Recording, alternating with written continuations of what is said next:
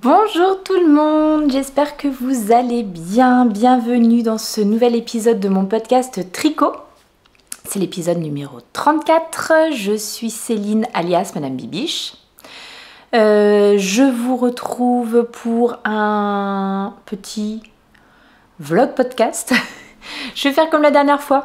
Je vais essayer de revenir un petit peu chaque jour et euh, chaque jour bah, aborder euh, soit les objets terminés, soit les projets, enfin les objets en cours, soit euh, les futurs projets, soit les acquisitions, enfin voilà, vous voyez.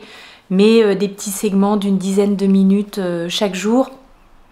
Plus facile pour moi à caser dans mon emploi du temps qu'un grand podcast d'une heure en une seule fois. Voilà.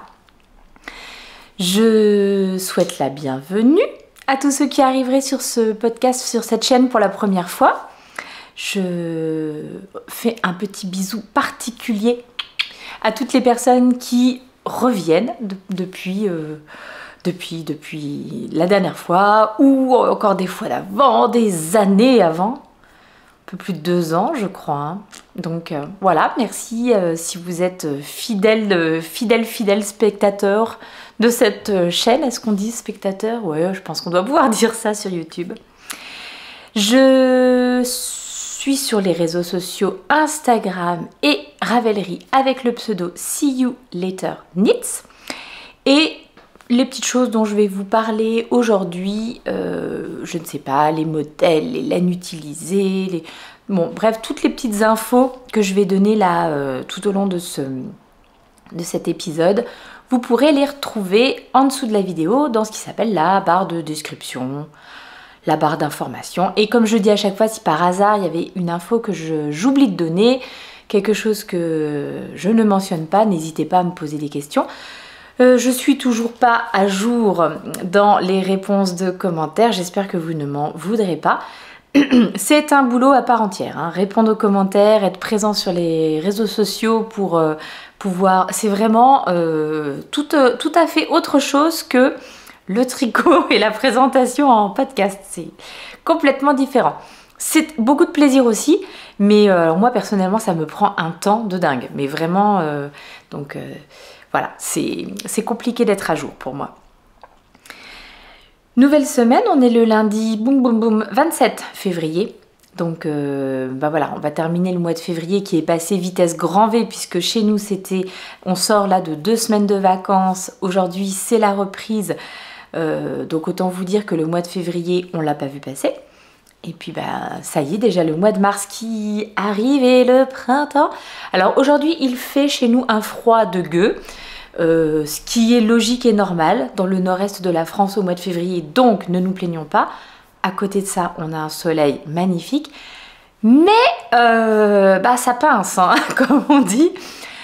Euh, c'était voilà donc vraiment j'avais lavé mon gros châle Solaris qui est tricoté avec la la Memo, donc c'est une, laine euh, avec du mérino et du mohair de chez, que j'avais acheté chez Madeleine et Philibert. Et euh, bah, je l'avais lavé en me disant, bon, je vais la ranger, puis je vais sortir des châles un peu plus légers. Eh bien, retour Peut-être que je me suis porté la poisse en faisant ça, en fait. Et que du coup, euh, voilà, retour des températures... Euh, voilà, vraiment, vraiment fraîches aujourd'hui. Donc, bon, bah écoutez, on ressort les bons gros tricots. Celui-ci, c'est le Whitmore Sweater de Emile Oden euh, que j'ai tricoté il y a maintenant un petit moment, presque un an et demi je dirais, et que je prends toujours autant de plaisir à porter. Je l'avais fait avec un fil de euh, BC Garn et avec un fil euh, mohair de chez la droguerie avec un petit peu de bling bling. Alors, de, doré. Est-ce que vous allez voir que ça dorétise un petit peu hein, Un petit peu? Voilà. Je l'aime vraiment euh, énormément. Il a un super, euh, super tombé celui-ci. Puis c'est vrai que ce, ce yoke en diamant là, c'est vraiment trop trop beau. Donc voilà. De quoi on va discuter aujourd'hui? On va discuter de deux objets terminés. Euh, on va en parler. Bref, deux, deux objets terminés. Et, euh, et ça sera tout d'ailleurs, je pense, parce que euh, oui, je vais. Demain, je vous montrerai un petit peu les encours, les trucs sur lesquels je travaille. Et puis, euh, je pense que je vous aurais mis quelques petites images avant. ce week-end, j'étais à Paris pour l'anniversaire d'une copine et j'ai fait un petit passage chez Lille Louisol avec des acquisitions extrêmement raisonnées et raisonnables. Non, alors raisonner, oui. Raisonnable, je ne sais pas. Bref, on en parlera dans la semaine. Et avant ça, euh, dans la semaine, j'étais aussi passée euh, au Luxembourg pour faire un petit tour, notamment, parce que j'avais d'autres choses à y faire, mais pour faire un petit tour notamment euh, dans une mercerie dans laquelle je vais quand je me rends dans la ville de Luxembourg. Et pareil, raisonner et raisonnable, je ne sais pas. Bon, on en rediscute on en rediscute un peu plus tard dans la semaine et dans quelques minutes pour vous. Là, on va parler aujourd'hui donc des objets, enfin des... Je sais que certaines n'aiment pas quand on dit objet terminé, mais bon. Ah non, c'est projet terminé. Non, objet terminé, on a le droit. Ah, que vois-je?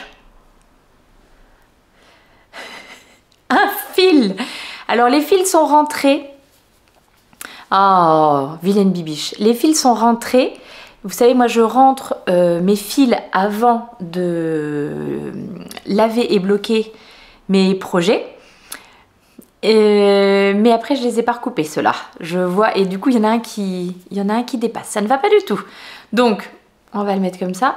Il faut que je les recoupe maintenant à ras. Mais sinon euh, les fils sont quand même rentrés et euh, les chaussettes sont toutes propres, toutes belles et alors mais euh, c'est un régal et euh, pareil, hein, je, enfin pareil, je ne suis pas sponsorisée par Soak, mais euh, je pense que je dois en parler à chaque fois. J'avais découvert cette lessive chez Madeleine, la boutique qui est à Bruyères dans les Vosges, en y passant avec les copines. On avait été faire un petit, un petit tour chez Madeleine. J'avais découvert euh, j'avais pris un petit flacon du parfum Célébration je l'ai directement racheté en gros format et là j'arrive à peu près au bout. Est-ce que c'est ma première ou ma deuxième? Peut-être quand bien, c'est peut-être quand même ma deuxième grosse bouteille de, de soak. Oui, ça va faire un an et demi que j'ai découvert euh, cette lessive et ça sent. Mais ce parfum célébration, je dis ça aussi parce que donc mon châle que j'ai lavé, mon Solaris, comme je l'ai remis ce matin parce que ça caillait vraiment de trop. Mais c'est merveilleux de s'envelopper dans cette... Pour moi, ce parfum célébration, il est... C'est le top. Revenons à nos chaussettes. On va, revenons-y, on n'en a même pas encore vraiment parlé. Voilà. Mon premier ouvrage terminé, ces petites chaussettes sans patron, chaussettes à la vanille, toutes simples, avec une laine autorayante, du bruit des aiguilles. Donc le coloris principal, la laine autorayante, euh, ça fait partie de sa collection euh, Gilmore Girls. Et c'est le coloris Dragonfly In, l'auberge de la libellule. Et pour euh, faire le contrastant, j'ai utilisé un petit mini, un petit mini oui, c'est normal, donc un mini, que j'avais, qui est également du bruit des aiguilles que j'avais reçu dans mon calendrier de l'Avent 2021. Le coloris s'appelait Grand Soleil, s'appelait, je ne sais pas, s'appelle Grand Soleil. Et euh, bah, c'est super chouette parce que du coup, il va vraiment parfaitement avec euh, le, le, coloris un peu jaune, euh, orangé qui est dans le Dragonfly In. Et euh, voilà, ça fait une belle, une belle cohérence, je trouve, à ces petites chaussettes. Et je pense que si j'avais utilisé un rose, ça aurait vraiment ça, les chaussettes seraient totalement différentes. Enfin bref, je trouve que c'est génial comme le mini peut euh, changer ou donner euh, un autre aspect à une même couleur. Je dis ça parce que je suis en train, mais bon, je vous en parlerai plus tard, de tricoter une paire aussi dans un coloris autorayant de, de, chez Le Bruit des Aiguilles de la collection Gilmore Girls. Pour ma petite dernière, et j'utilise le coloris Rory que j'ai déjà utilisé pour la grande pour lui faire une paire de chaussettes. Et du coup, en utilisant juste un contraste différent, les deux euh, chaussettes rendent euh, assez différentes aussi. Comment je tricote mes petites chaussettes à la vanille? Eh bien écoutez, c'est très simple, je les tricote sur des mini circulaires de 23, cm de chez Xiaogu. C'est les... J'utilise pas mes mini circulaires de mon kit, euh, mon kit rouge parce que je le trouve relativement peu agréable à utiliser ce, ce kit. Pour moi, les câbles sont vraiment petit, petit, petit et euh, je sais pas, c'est pas très agréable pour la, pour la prise en main. Euh, ceci dit, je sais qu'il y a des gens qui adorent et pour qui je fais un petit coucou particulier à Sandrine hein, qui se reconnaîtra, qui m'a dit qu'elle par contre elle adorait euh, tricoter avec ça. voilà, pour moi c'est vraiment trop petit donc ce que je lui disais, c'est ça qui est bien, c'est que il y a tellement d'outils à la disposition des tricoteuses que chacun, chacune peut trouver vraiment bah, l'outil qui lui convient et ça c'est vraiment chouette. Donc moi en tout cas les mini circulaires de chez Xiaogu en 2,25 j'ai fait pour celle-ci. Euh, bah, je les trouve très bien. Les fixes comme ça, je les trouve vraiment, super bien. J'ai monté 64 mailles pour ma, pour ma taille en 2,25 et puis j'ai commencé par des côtes semi-torse. C'est les côtes que je préfère, vous le savez. Ensuite, euh, on fait la petite tige de la chaussette en jersey tout simple. J'ai vraiment, moi j'aime quand même bien quand euh, j'aime quand même bien avoir des chaussettes euh, pareilles. Même avec une auto rayante, j'aime bien les faire débuter au même endroit. Donc pour faire débuter euh, votre chaussette au même endroit, eh ben, il suffit de repérer la, le moment où la laine change de couleur toute seule hein, dans, la pelote, dans les chevaux, et euh, donc de commencer de faire votre première maille là où commence le...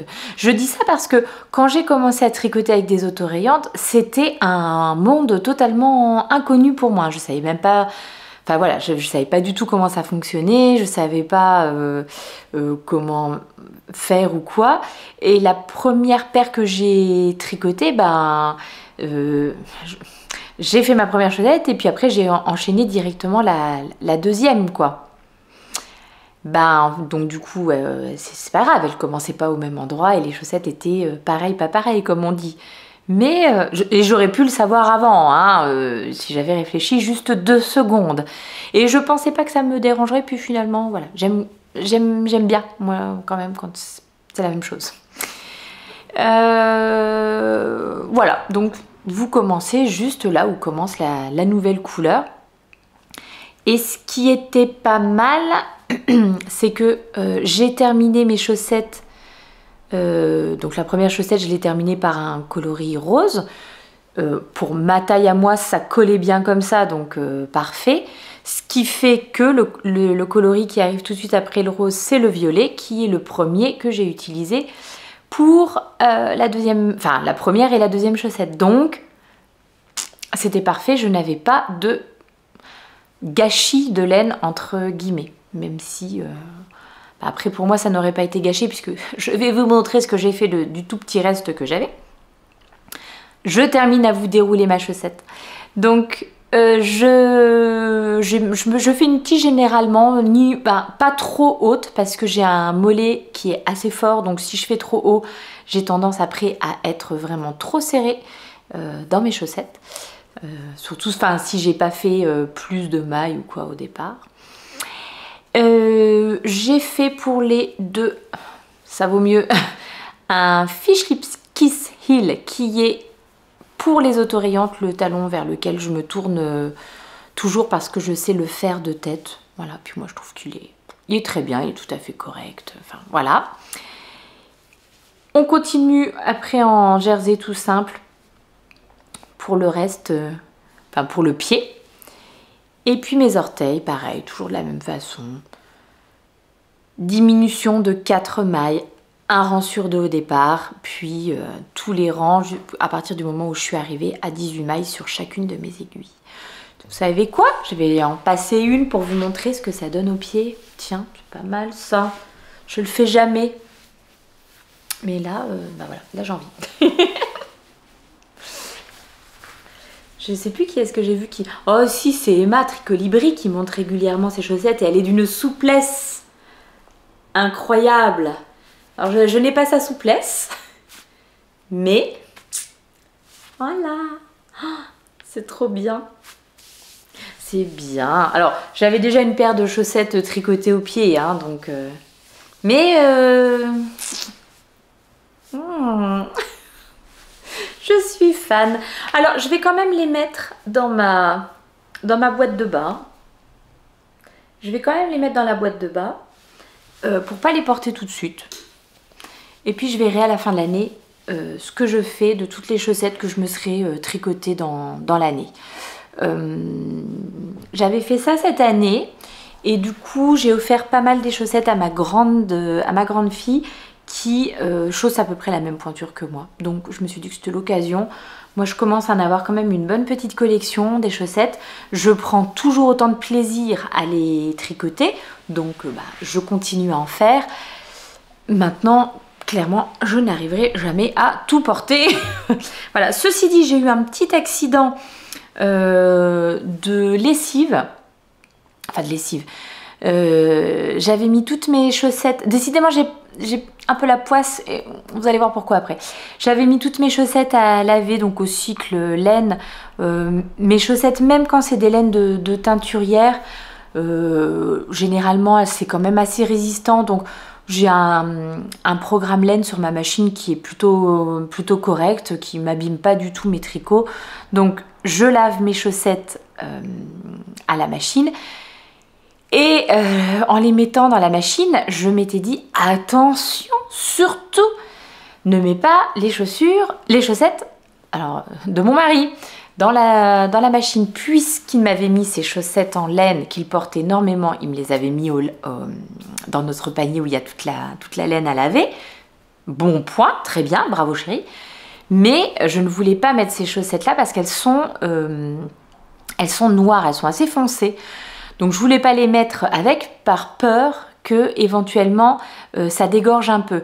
Sachant que euh, je les ai lavées à la main, plusieurs fois depuis que je lui ai tricoté et que euh, à part la première fois où il y avait eu un petit peu de résidus noirs dans, dans la bassine, depuis j'en ai plus. Mais bon, voilà, donc j'étais là en train de faire bien attention, j'ai sorti ces chaussettes et je n'ai pas fait attention que je mettais dans la machine une paire qui m'appartient à moi, dont le talon et les orteils, ou peut-être juste le talon, mais ouais, non, talon et orteils je crois, sont dans un, en Sweet Georgia. Un coloris bleu magnifique, je ne me rappelle plus son nom, euh, mais qui dégorge toujours au bout de... Parce que c'est des chaussettes que je porte euh, assez régulièrement. C'est les chaussettes que j'avais tricotées pour faire le test. C'est les mardis torsades de euh, Elodie Tête en l'air. les chaussettes qui étaient donc dans le, dans le livre Tricoter ces chaussettes. Et je les avais testées. Donc vous voyez que ça fait un petit moment que je les ai tricotées, on va dire au moins deux ans. Ça devait être en 2000. Ouais, ça devait être en 2020, deux ans, peut-être trois ans, donc je les ai quand même portées depuis. Je sais très bien que cette laine bleu foncé d'étain, et eh ben je sais pas. J'ai voilà, j'ai mis. Et donc qu'est-ce qui s'est passé? Eh ben depuis, euh, j'ai une bonne partie de mes chaussettes qui ont des petites taches bleues un peu partout. Et euh, bon, J'étais un peu fâchée après moi, puis après je me suis dit, bah c'est des chaussettes que je porte déjà depuis longtemps. Bon, bah voilà, je les porte, elles s'abîment, ça me semble logique. En revanche, ce qui ne me semble pas logique, c'est l'autre chose dont je vais vous parler, à savoir mon deuxième, euh, mon deuxième objet terminé, mon Aros Sweater, que vous m'avez vu tricoter dans le dernier épisode. Voilà, j'étais, euh, c'était un, un encours à l'époque. Donc, le voilà terminé, mon Aros Sweater. Et euh, je trouve que là, comme ça, ça c'est pas mal, c'est pas plus mal. Mais mais, mais, mais, mais, mais, mais, mais, mais, mais, mais, je ne l'ai jamais porté. Voilà, je l'ai jamais porté et il y a des traces de bleu absolument partout. Euh, partout. Et là en plus qu'on est au soleil, il y a également des traces de jaune, alors qui sont beaucoup moins visibles euh, que les traces de bleu, hein, bien entendu. Bon, là, hein, vous, aviez peut-être remarqué, c'est là que ça se voit le plus, même si vu que c'est près du machin, on a presque l'impression que c'est les petits minus, mais oh, une belle tache bleue là aussi. Il y en a partout, il y en a absolument partout. Euh, voilà. bon, on en reparle. Vous savez ce que je vais faire? Je vais, le, je vais le, passer pour vous montrer quand même euh, ce que ça donne. Et puis après, je vous explique euh, les laines, comment je les tricoté, tout ça. Puis après, bah, je vous parle de ma, mes aventures de lavage. Tadam Voilà, le Haros Sweater. C'est un modèle de petite knit. J'ai oublié de le dire tout à l'heure. Voilà. La bête euh, terminée. Et la bête... Euh, ah, il est beau, hein Ah, franchement, il est magnifique. Mais euh, bah, j'étais pas très contente. j'étais pas très contente et en même temps, bah voilà, hein, c'est comme ça de toute façon. Qu'est-ce qu'on peut y faire?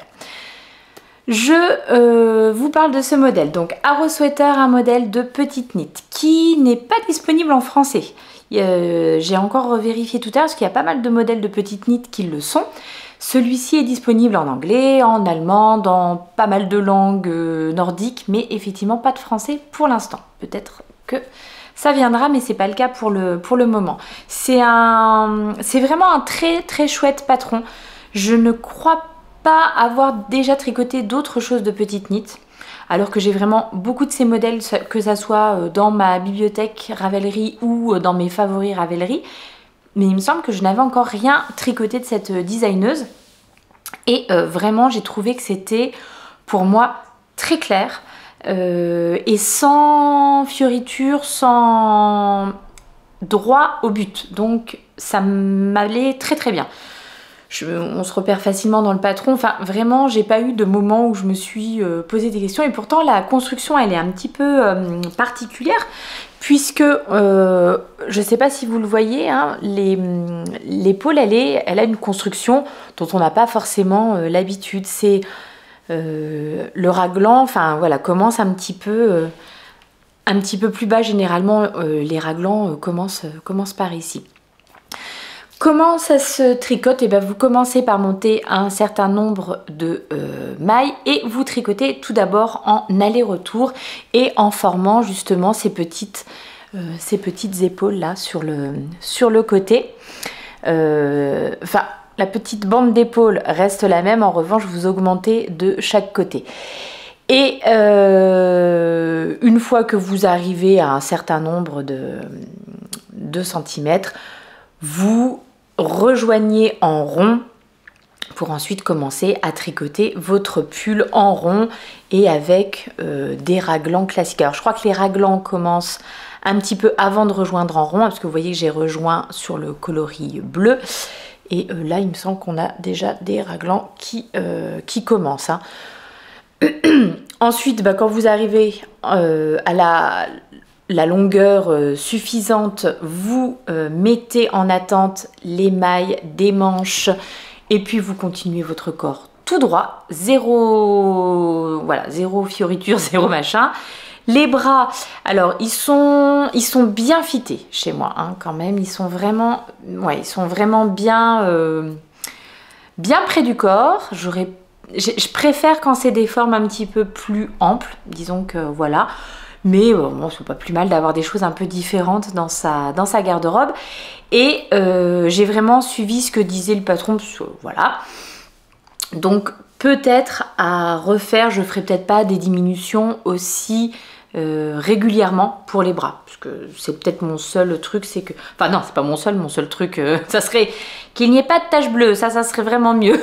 Mais voilà, si je, sais que, bon pareil, hein, j'ai des bras un peu, un peu forts, donc peut-être que j'aurais peut-être dû faire euh, la taille, euh, alors j'ai fait la taille numéro, j'ai fait la taille 4, euh, qui était, si je ne m'abuse, la taille 100. Ah, qu'est-ce que c'est bien d'avoir Ravelry disponible comme ça. Donc il me semble que c'était 104 cm, la taille, la taille 4, donc c'est ce qu'ils appellent la taille L.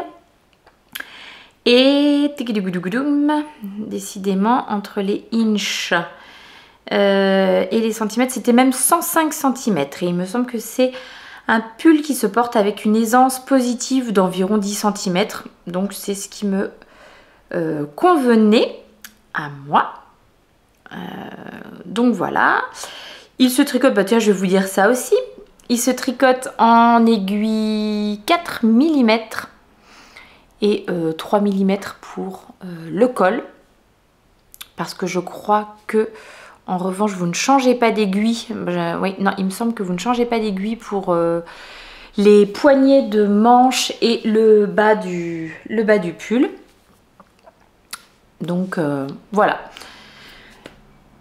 Je vous le redis. Après oui, non je crois que c'est pas précisé de changer. Peut-être j'aurais pu peut-être j'aurais ouais peut-être j'aurais pu changer pour faire un truc un peu plus serré. Mais bon, en même temps, comme c'était déjà bien serré, euh, finalement j'aime quand même bien de pouvoir le, porter un petit peu long sur les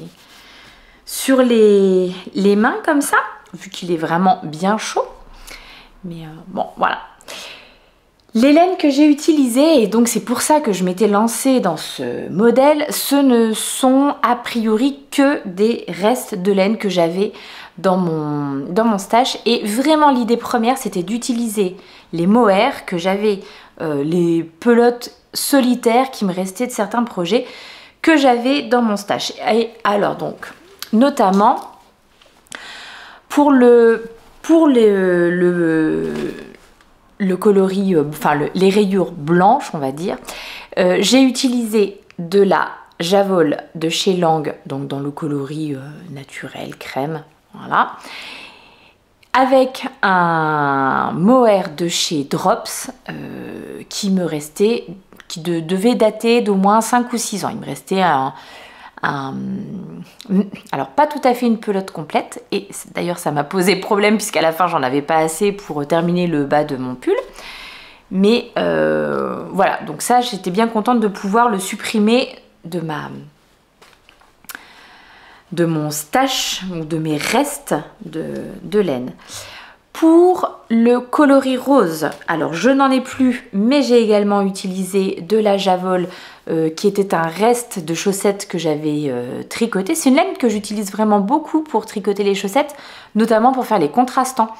Euh, quand j'ai une laine qui est déjà bien chargée en speckle et tout, j'aime bien avoir un contrastant uni, c'est plus pour moi c'est visuellement plus sympa et euh, donc là, j'avais un reste de, Javol dans un coloris euh, rose, un peu vieux rose comme ça. Il ne m'en reste plus du tout. Et le euh, mohair que j'ai utilisé pour aller avec, c'est un mohair de chez Veritas. Et lui, pareil, j'en ai... alors vous voyez qu'il me reste sur une pelote de rose, bah, il me reste tout ça. C'est tout ce que j'ai utilisé, donc il me reste encore. Et il me reste encore deux autres pelotes comme ça. Donc il faut que je réfléchisse à quoi en faire. Pour le gris, j'ai utilisé un reste non identifié pour euh, ce qui m'a servi de, de laine fingering. Je crois de la Regia, mais je suis pas... Enfin, il me semble de la Regia. Je n'en ai... Eh ben j'en ai plus du tout, non plus. Non, j'ai plus du tout. Et le mohair associé, c'était un mohair de chez Knitting for Olive que j'avais... Il me restait donc une pelote d'un projet de mon tulip sweater donc euh, pelote solitaire et vous voyez qu'il m'en reste encore. Donc euh, voilà.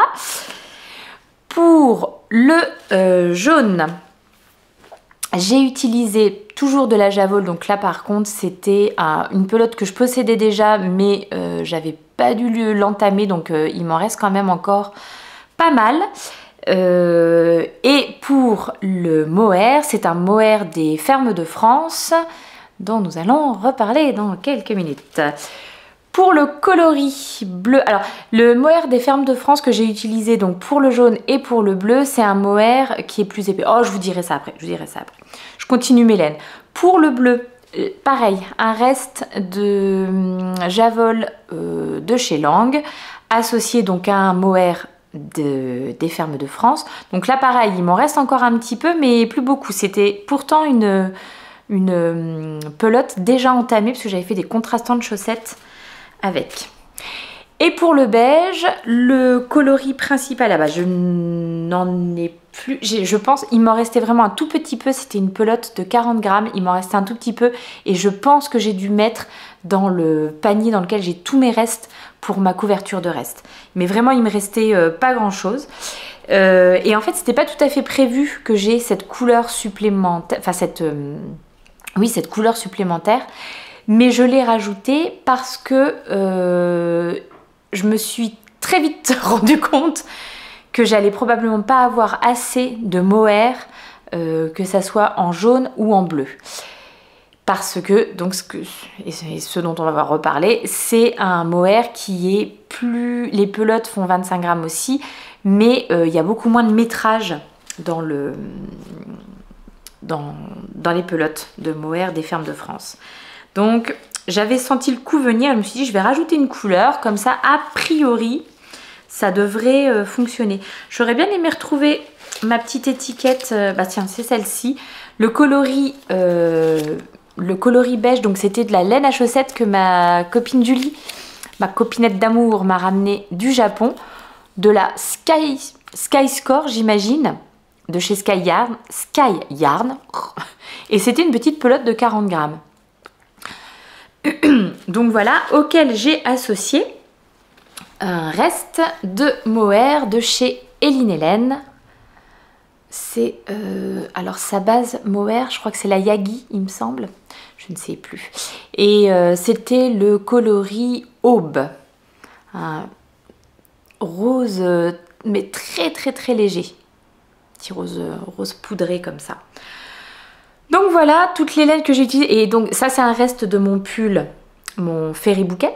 Et vous voyez qu'il m'en reste quand même encore pas mal aussi. Donc j'étais quand même satisfaite d'avoir réussi à vider euh, certaines choses, dont euh, bah, ça, ça j'avais qu'une pelote de mohair à chaque fois. Qu'est-ce qu'on fait avec une pelote de mohair euh, qui fait 112 mètres de long? Pas grand chose. Donc on fait des rayures dans un pull mais c'est pas la meilleure des idées.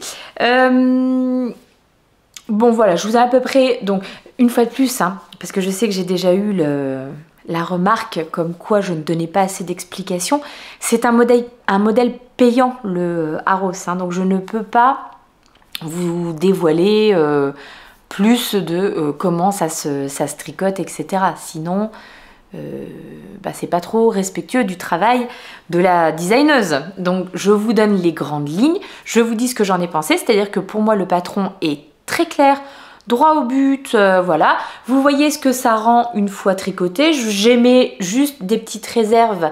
Euh, je trouve que les manches sont quand même bien, voilà, bien près du, près du corps du bras. Vous voyez, un petit peu, un petit peu trop fité, moi à mon goût, un petit peu trop fité, mais Peut-être que pour d'autres personnes, c'est parfait. Euh, mais voilà, je ne peux pas non plus vous dire plus de choses, vous dévoiler plus de choses que ça sur le, patron. Bon, alors maintenant, revenons-en au truc qui nous intéresse. J'ai du mohair dans le nez, hein, c'est pour ça que je me gratte, hein, dès qu'on parle de mohair de toute façon. Bon, bah qu'est-ce qui s'est passé? Alors, déjà, il y a eu deux choses quand même. La première, c'est que comme c'était un pull de reste, je ne voulais pas acheter de laine pour faire ce pull. Et force est de constater que eh bien, je suis arrivée euh, ici, là, au bout de mes bras, au bout du bleu, du bleu euh, et du jaune ici. Et euh, je n'avais plus de mohair bleu, je n'avais plus de mohair jaune. Donc, pas possible de faire ensuite, pour ce qui me restait à tricoter de manches, nouvelle répétition de couleurs. Donc, bah, comme de toute façon, j'avais fini j'avais fini le, corps du, pull, bah, je me suis dit que je pouvais, tant que les... c'était respecté pour les deux bras, la même, les mêmes rayures, bon bah j'étais plus obligée de refaire exactement la même répétition. Ensuite, la deuxième chose que je voulais dire, si à refaire, je n'aurais pas mis cette euh, rayure euh, beige à côté de la rayure blanche. J'aurais fait ma disposition un petit peu autrement. Je trouve que c'est dommage d'avoir ces deux couleurs un peu similaires l'une à côté de l'autre. Voilà, ça, c'est la deuxième chose. Mais une fois de plus, ça rentrait dans mon idée de... Euh, j'essaye d'enlever un certain nombre de, restes de mon, de mon stage. Donc voilà. Ensuite, euh, bah, j'ai manqué, j'ai manqué de ça et de ça. Donc ça, c'est la, la javole de chez Lang. Donc je, peux en retrouver chez ma, ma préférée, la mercerie Regraphe. Donc quand je suis passée chez elle, j'en ai repris. Ce qui m'en manquait pour terminer tout, ouais, les deux bracelets de manche et le bas du, le bas du pull. Hein. donc ça n'allait pas. Et puis bah, j'avais pas du tout envie de recommander une pelote euh, unique de Kit Silk de chez euh, Drops, enfin de passer juste commande pour ça. Et donc j'ai profité de mon passage euh, au salon exceptionnel pour trouver une laine. J'avais pris, j'avais vraiment un tout petit chouille de, qui me restait de ma pelote. Bah, ça doit être ça, voilà. De la pelote de Kit Silk. Et bah, j'ai pris ce qui était le plus approchant sur les stands qui étaient là. C'est de la guéparde. Alors, j'ai vidé pas mal de, choses, mais bah, j'en ai récupéré un petit peu. Donc objectif partiellement atteint, on va dire. Et maintenant, bah, le gros souci donc de ce pull, c'est la laine qui a des.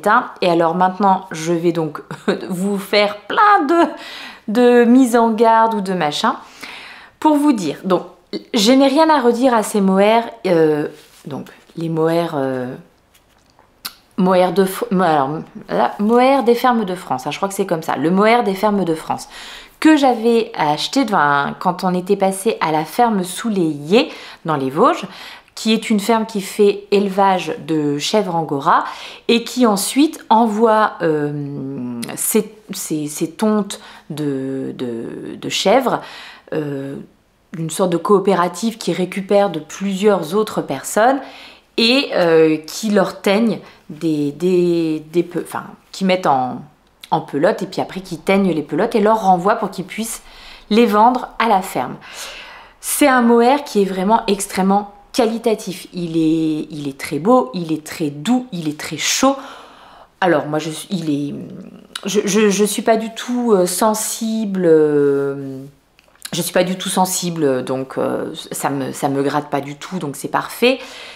Euh, c'est un très beau mohair, il n'y a pas de problème avec ça. En revanche, eh bien, attention, attention, au niveau de la teinture, au niveau de la teinture, attention, faites vos essais avant. J'avais pourtant fait euh, un petit échantillon, euh, mais effectivement, j'avais fait juste une petite bande à chaque fois pour regarder ce que, que ça a donné, les couleurs ensemble.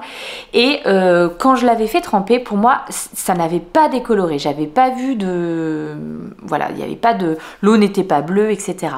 Et là, en vérité, quand euh, j'ai lavé mon pull, donc je l'ai mis dans l'eau avec ma lessive, et pareil, j'ai regardé, l'eau n'a pas pris euh, la couleur de, de la teinture bleue, etc. Mais, donc je l'ai laissé. grave erreur. Je l'ai laissé tremper, je pense une heure, une heure et demie, le temps de manger. Et quand je suis remontée pour donc euh, l'essorer et le mettre à étendre, et eh ben toutes les parties blanches qui étaient rentrées en contact avec du bleu et donc du jaune, même si ça se voit un peu moins, mais il y a aussi des taches de jaune, euh, toutes, les, toutes les parties qui étaient en contact ont des, donc des grosses taches bleues comme ça. Alors, qu'est-ce que j'ai fait? J'ai direct re-rincer, re-rincer, re-rincer mon pull. Et à force de le rincer, j'avoue, alors non, pas tout de suite, re-rincer, re-rincer, re-rincer. Les taches se sont légèrement euh, atténuées, mais c'était pas non plus flagrant. J'ai donc fait faire un bain de vinaigre blanc à mon pull.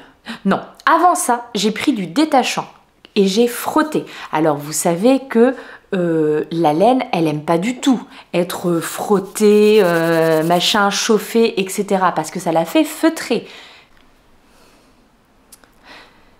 Désolée, euh, je disais la laine, elle aime pas du tout être frottée parce que ça la fait feutrer. Donc là, j'ai pris mon détachant, mais je, c'était ça ou des grosses taches bleues. J'ai pris mon détachant, j'ai frotté comme j'ai pu, j'ai rincé. Oh, j'ai vu que c'était toujours pas parti. J'ai donc fait tenter un bain de euh, vinaigre blanc et eau froide. Rien de particulier. Et là, par contre, à partir de là, je trouve que l'eau a commencé à prendre une teinte bleue. À chaque fois, je faisais des bains au, pull. Mais en réalité, pour moi, euh, je me suis dit, bah, là, il faut que je teste. Il hein. faut que je tente des trucs parce que, bah, déjà, euh, sinon, de toute façon, euh, parce que les, tâches, bon, particulièrement celle qui est là sur le bras, les tâches, elles étaient plus visibles au départ. Là, ça va, je trouve quand même un petit peu mieux. Mais voilà. Donc après le bain de vinaigre blanc, j'ai testé le bain de cristaux de soude. Et cette fois-ci avec de l'eau chaude. Bref, je pense qu'on peut dire que j'ai testé beaucoup de trucs et que, euh, eh bien, absolument rien n'a fonctionné réellement. Même si, comme je vous le dis, euh, les tâches ont tendance à, ont eu tendance à euh, s'atténuer un petit peu. Mais elles sont toujours visibles, elles sont toujours là. Et donc, l'adage mieux vaut prévenir que guérir vraiment prend tout son sens ici aussi. Je vous en conjure. Même si... Euh, alors, comment j'aurais pu éviter ça? Bah alors, je ne remets pas du tout en doute la qualité du mohair, comme je vous l'ai dit. En revanche, peut-être qu'au niveau de la teinture, euh, certaines couleurs sont peut-être pas ultra bien fixé sur, le, sur la fibre. Peut-être. C'est une possibilité. Donc, si vous tricotez le mohair des fermes de France, faites attention peut-être couleur foncée, couleur claire dans un même projet. Alors là, vraiment ultra vigilance au moment de laver votre, votre, votre, votre objet, votre ouvrage. Euh, sinon, utilisez juste le mohair tout seul avec un, fil. Euh, vous savez, souvent on utilise un mélange fingering et mohair pour faire une, épaisseur d'écart. Voilà, peut-être juste un ouvrage réalisé avec le mohair dans un seul coloris, comme ça, ça ne risque pas de faire des taches. Mais là, pour un projet avec des couleurs claires, des couleurs foncées euh, en rayures et tout ça, et eh bien malheureusement, euh, ça, ne se prêtait pas parce que... Euh, alors, je peux peux pas tout à fait dire qu'il a dégorgé, parce que pour moi, dégorger, ça aurait plus fait que, par exemple, le, bleu se répande légèrement sur le, beige en dessous. C'est pas ça que ça a fait. Hein. C'est vraiment, vu que le pull, il était à certains endroits en voilà y a, ça, ça, se touchait dans la, dans la bassine on va dire les différentes zones et ben voilà, c'est les parties qui étaient en contact avec du jaune et du bleu, et Dieu sait qu'il y en avait, et ben on, pris un petit peu de la, de la teinture. Euh, j'aurais pu aussi peut-être éventuellement le mettre, plutôt que de mettre dans une bassine, comme je fais pourtant euh, d'habitude, hein, euh, le mettre à plat dans ma baignoire et mettre un fond d'eau, ce qui aurait fait que les trucs ne se seraient pas touchés. Voilà, voilà, la déception de euh, cet ouvrage bon, bah, dont je suis euh, l'unique responsable, hein, parce que c'est moi qui... C'est moi qui ai lavé le, le pull et peut-être j'aurais pu, dû être plus vigilante. Mais ça fait vraiment longtemps que ça ne m'est pas arrivé en lavant un, ouvrage à la main d'avoir des problèmes comme ça de laine qui déteignent sur d'autres laines. C'est comme ça, c'est rageant. Je voulais partager avec vous bah, les petites, euh, oui, les petites choses que j'avais tentées. Euh, j'ai vu à droite à gauche d'autres, euh, enfin sur internet, d'autres choses, mais bon, bah, soit que j'avais pas sous la main, soit qui me semblaient un peu plus coriace. Et une fois de plus, le fait que ça soit un mélange laine, enfin, oui, mérino et mohair. le mohair quand même, c'est ouais, ça feutre facilement, ça, j'avais peur que ça s'abîme. Là, si je dois être d'ailleurs tout à fait honnête, le bain de cristaux de soude là, je sens quand même que le pull est beaucoup moins doux que quand j'étais en train de le tricoter. Il était d'une douceur absolue quand j'étais en train de le tricoter. là, il est quand même un petit peu plus rêche. Donc je pense qu'il faudra aussi que je le relave. en essayant que la situation ne dégénère pas encore plus. Mais voilà, je le relaverai de toute façon. Je vais le porter un petit peu tel quel. Et euh, bah, malheureusement, je le mettrai pas forcément pour, euh, je sais pas, euh, tous les jours, dans ma vie tous les jours. Je le mettrai plus pour quand je suis à la maison et que j'ai besoin d'un pull bien chaud, bien doudou, parce que de ce point de vue-là, il est parfait. Ou oui, pour aller faire une balade, un truc, mais le fait qu'il y ait ces taches là quand même ça me, ça ça me gêne un petit peu. Ça me, si je suis tout à fait honnête je j'aime pas ça. Là où j'ai eu vraiment du mal à accepter le truc, euh, et une fois de plus, hein, relativisons, moi-même, ce n'est pas la peine de me le dire, je le sais, hein, il y a des choses bien plus graves dans la vie, et je depuis, depuis euh, bah, je suis un petit peu passée à autre chose, hein, tout va bien, mais euh, sur le coup, j'étais mais dégoûtée, j'étais écœurée, parce que c'est quand même beaucoup de travail, et que je trouve la même chose m'arrivait après avoir porté mon pull pendant déjà, euh, déjà plusieurs fois, etc. Je pense que je l'aurais pas vécu de la même façon que oh, je viens juste de terminer, j'ai rentré mes fils, je le lave pour pouvoir le porter et bim, il ressort avec plein de taches. Oh, c'était un petit peu, la pilule a eu un petit peu de mal à passer. Voilà. Je pense que je parle déjà depuis très longtemps, comme, euh, bah, comme souvent, hein, je suis extrêmement bavarde pour ceux qui ne me connaissent pas trop bien encore. Mais voilà mes petites mésaventures avec moi à Ross. Bah, que je vous recommande hein, quand même parce que, euh, parce, que, bah, parce que sympa quoi. Parce que joli, parce que... Euh, parce, que super super modèle. Ma copine Claire Mini Sushi, elle est en train de le réaliser en bicolore noir et blanc, esprit euh, Wednesday, mercredi Adams. Magnifique J'ai du coup envie de m'en refaire un petit peu comme ça. On verra. Et du coup, peut-être que, si je le refais euh, façon mercredi, bah, je ferai pas de diminution pour les bras. Et je ferai euh, forte diminution avant de faire des petits poignées de manches. J'aime bien, je préfère ce genre de, ce genre de manche là. Même si bah, c'est bien quand même d'avoir des choses différentes dans sa garde-robe. Allez. Ah bah j'ai oublié de vous montrer. Ça, je voulais vous montrer que le petit reste qui me restait, bah voilà, il est, déjà parti dans ma couverture de reste de l'amitié. Mais je vous en parle dans la semaine. Voilà, quand je vous montrerai mes ouvrages en cours. Allez, à demain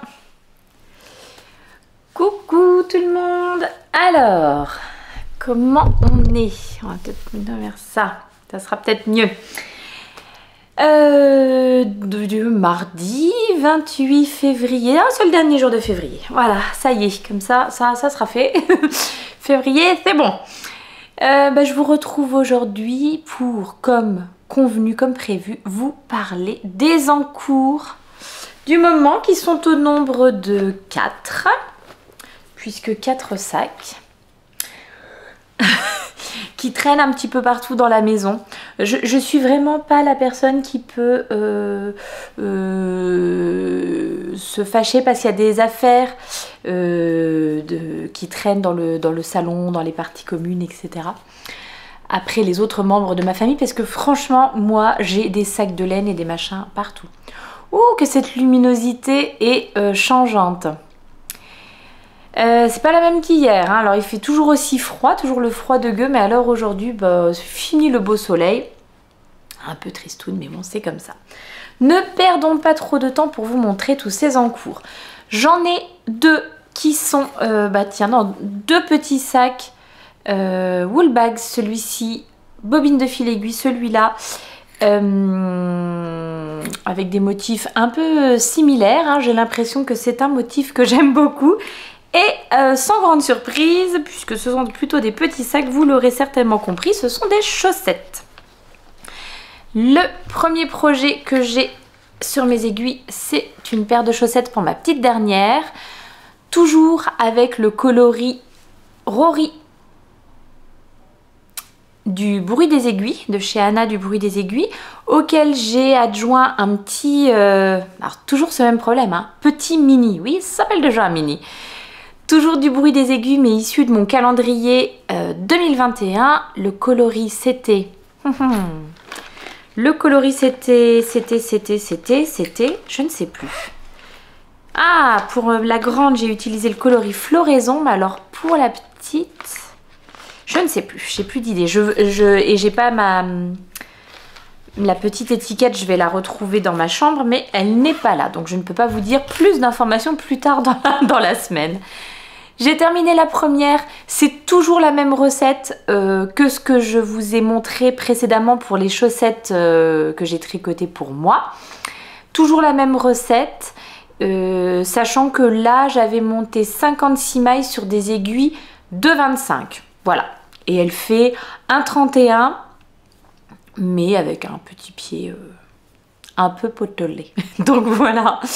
Voilà ce que ça donne. On voit que la chaussette n'a été ni lavée ni, euh, ni bloquée. Elle est moins, euh, elle présente moins bien que celle que je vous ai montrée hier. Euh, donc je vous ai dit la laine, je vous ai dit les aiguilles, je vous ai dit... Qu'est-ce que je vous ai dit d'autre? Le sac. La deuxième. la deuxième, elle en est là. Voilà.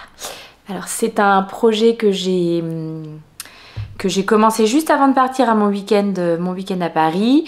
Euh, que j'ai monté chez ma copine Delphine euh, quand on a pris un petit goûter ensemble la semaine dernière. Je l'ai tricoté à fond dans le train, voilà, et euh, au retour, bah, donc au retour je l'ai terminé et j'ai juste eu le temps de commencer la deuxième. C'est un petit projet vraiment rapide, hein. un petit 31, ça va quand même vite. Vous voyez mes petites mini circulaires de chez Xiaogu? Voilà, petites aiguilles. Oula, si je monte pas au bon endroit mes petites 23 euh, cm en, fixe. J'enlevais pour vous montrer la, jonction. Je trouve qu'elles sont, elles sont vraiment bien. Elles sont vraiment bien celles-ci. Et là j'en teste d'autres bah, dont je vais vous parler là tout de suite comme ça. voilà donc ça c'est le petit projet euh, hyper facile à emmener. Ça ne prenait pas de place dans mon sac à dos euh, parisien. Et qui va être terminé bientôt. J'allais donner une date, mais non, on va pas faire ça. Le deuxième projet, c'est toujours des chaussettes, enfin ce sont toujours des chaussettes, c'est toujours une paire de chaussettes. Euh, mais là, on va changer de, on va changer de gabarit.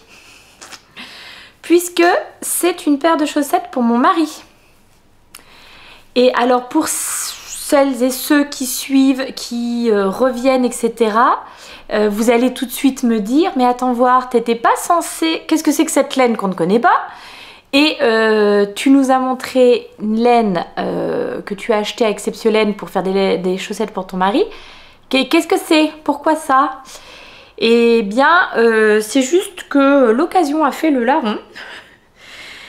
je suis passée au Luxembourg donc bah, la semaine dernière et je suis allée dans une euh, mercerie. Alors c'est plus qu'une mercerie, c'est un magasin de loisirs créatifs. Il y a vraiment de tout. Il y a effectivement euh, euh, tout ce qu'il faut comme laine, comme tissu, comme accessoires pour ces deux activités-là, mais également pour la peinture, pour la pâte filmo, pour la... Il y a plein, plein, plein de choses chez Bastelkiste à Luxembourgville. Je ne sais pas si je le prononce bien. Vous me direz si jamais il y a euh, des luxembourgeoises euh, qui me suivent, eh bien vous me direz si je raconte n'importe quoi. Et donc, euh, tant que j'étais là-bas, enfin, ils ont une sélection de laine à chaussettes, notamment chez Lang ou chez... Il y a quoi d'autre? Il y a de la Regia aussi. Ils doivent avoir encore d'autres qualités de laine, laine à chaussettes. Vous savez, ces laines, euh, alors c'est oui, bah, c'est de l'autorayante aussi, quoi, hein, finalement, mais avec euh, soit ça fait des petits motifs, soit. Et euh, j'ai craqué, notamment pour celle-ci, je vais vous la montrer en pelote. C'est de la Twin Socks de chez. Alors l'étiquette est défoncée, hein, l'étiquette est défoncée, et j'espère que c'est l'étiquette qui correspond à la laine, j'ai même un doute. À la limite, je ne sais pas. Parce que je ne sais pas ce qui s'est passé avec leur étiquette là, mais euh, voilà. Alors, si c'est le bon truc, c'est donc de la Super Socks. Je pense quand même, parce que j'en avais déjà tricoté de la Super Socks, euh, je m'étais fait des chaussettes euh, arc-en-ciel, euh, deux paires avec 100 grammes pour moi, et des contrastants. Donc je pense que c'est effectivement ça. Maintenant j'espère que la couleur, ça sera la bonne. Et la couleur, c'est 901 0133. J'aurais peut-être pu regarder avant pour voir si c'était... Je, je pense hein, que c'est quand même la bonne étiquette, mais qu'il y a eu un petit coup de... qui a été déchiré et remise sur la, sur la pelote. C'est une 75 laine vierge, 25% nylon. Euh, moi j'avoue que voilà, en, pelote, les couleurs, ça m'a bien parlé. Et puis, euh, bon, c'est des pelotes qui sont pas très très chères. Hein. Je crois qu'on est aux alentours de 7 euh, euros, 8 euros peut-être la pelote. Euh, je, vous en parlerai plus tard parce que je vous montrerai un petit peu les...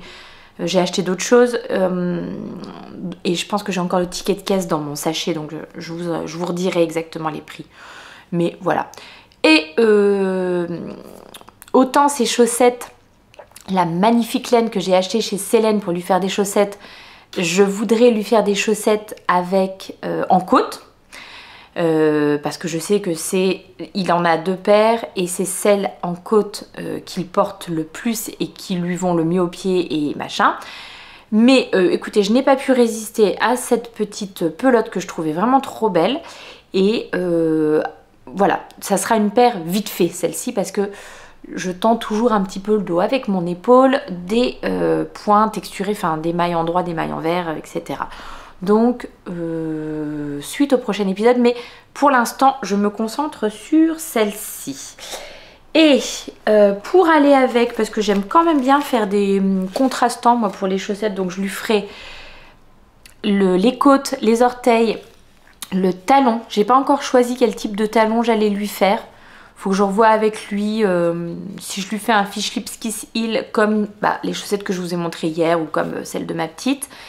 Euh, ou si je lui fais un talon renforcé à gousset euh, classique, mais ce qui veut dire que ça contrariera un petit peu la répétition des rayures. Donc je vais voir avec lui ce qu'il en pense. Et donc en contrastant, valeur sûre, Javol de chez Lang. Bah dis donc il est bien cet appareil parce que c'était, vu la luminosité du jour, c'était pas évident de vous montrer ça en, en vidéo. Le coloris c'est 830025 un bleu marine euh, ben, bien, bien foncé. Donc voilà, j'ai pris ça pour aller avec. Et donc les aiguilles, je les ai également prises euh, chez Bastelkiste. Je vais faire un petit peu de rangement en même temps parce que sinon, bah sinon on ne s'y retrouve plus ma brave dame. Alors, euh, les aiguilles, puisque c'est ça que je voulais vous montrer. Donc ce sont également des mini circulaires, mais c'est des Adi des Sockenwunder Lace et je n'en avais jamais essayé. Je vous remontre la petite étiquette. Si ça brillait pas, ça serait peut-être mieux.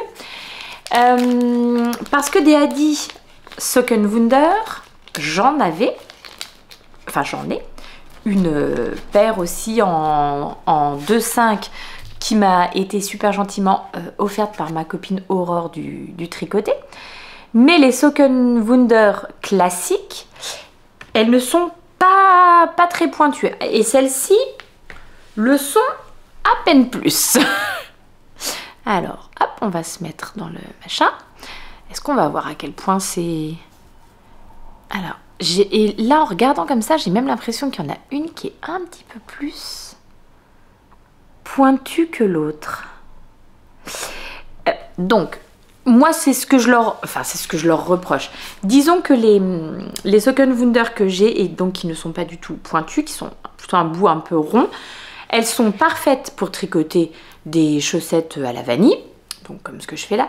Mais c'est vrai que si je dois les utiliser pour un modèle où il y a éventuellement un petit peu de dentelle ou, enfin voilà, je les trouve drôlement moins sympas et euh, ergonomiques que les, euh, les chiens au goût.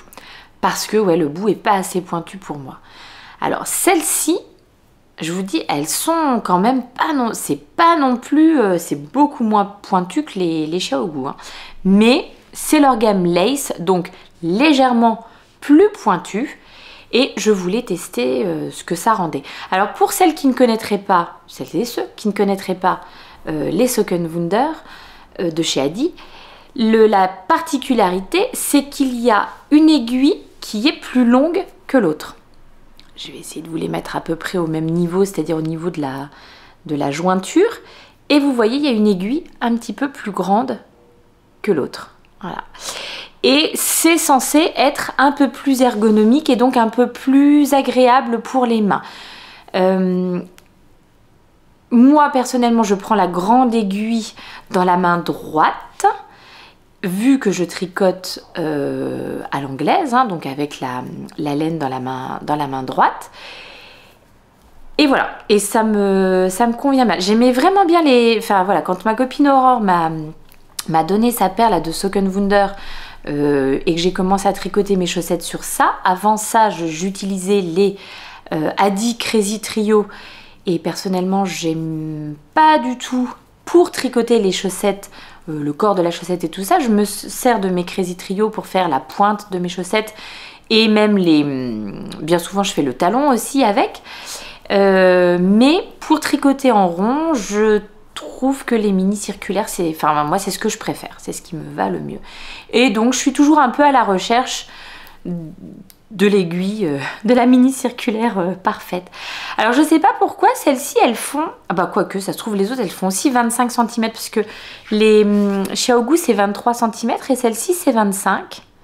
25 cm et euh, j'ai pris des 2,50 puisque chez, pour les Wunder, chez Adi, alors en tout cas en Wunder, il n'y a pas de 2,25 si je dis pas de bêtises. Moi j'en ai pas trouvé en magasin. C'était 2 ou 2,50 ou 3 ou 3,50 mais il n'y avait pas de quart de taille si on peut dire. Donc euh, voilà. Alors je teste et puis euh, je vous dirai après euh, c'est bien. J'ai monté pour mon mari, j'ai monté 68 mailles et en 2,50 voilà, en 2,50. Je pense que ça va être un petit peu grand parce que il a une cheville et une, euh, il a une cheville très fine. Voilà. D'où le fait que le modèle avec entièrement en côte, c'est ce qui lui convient le mieux parce qu'il a à la fois euh, ce maintien là sur la cheville, la chaussette qui tient bien sur la cheville, et à la fois, euh, comme il a, le pied plus large que la cheville, enfin bon bref, vous serez tout de l'anatomie de mon mari, du pied de mon mari.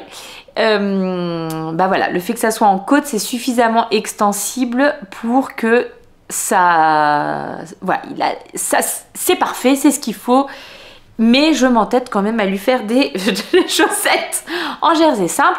Euh, juste, je ne sais pas, pour le contrarier peut-être. Non, il est content que je tricote, euh, que je tricote pour lui.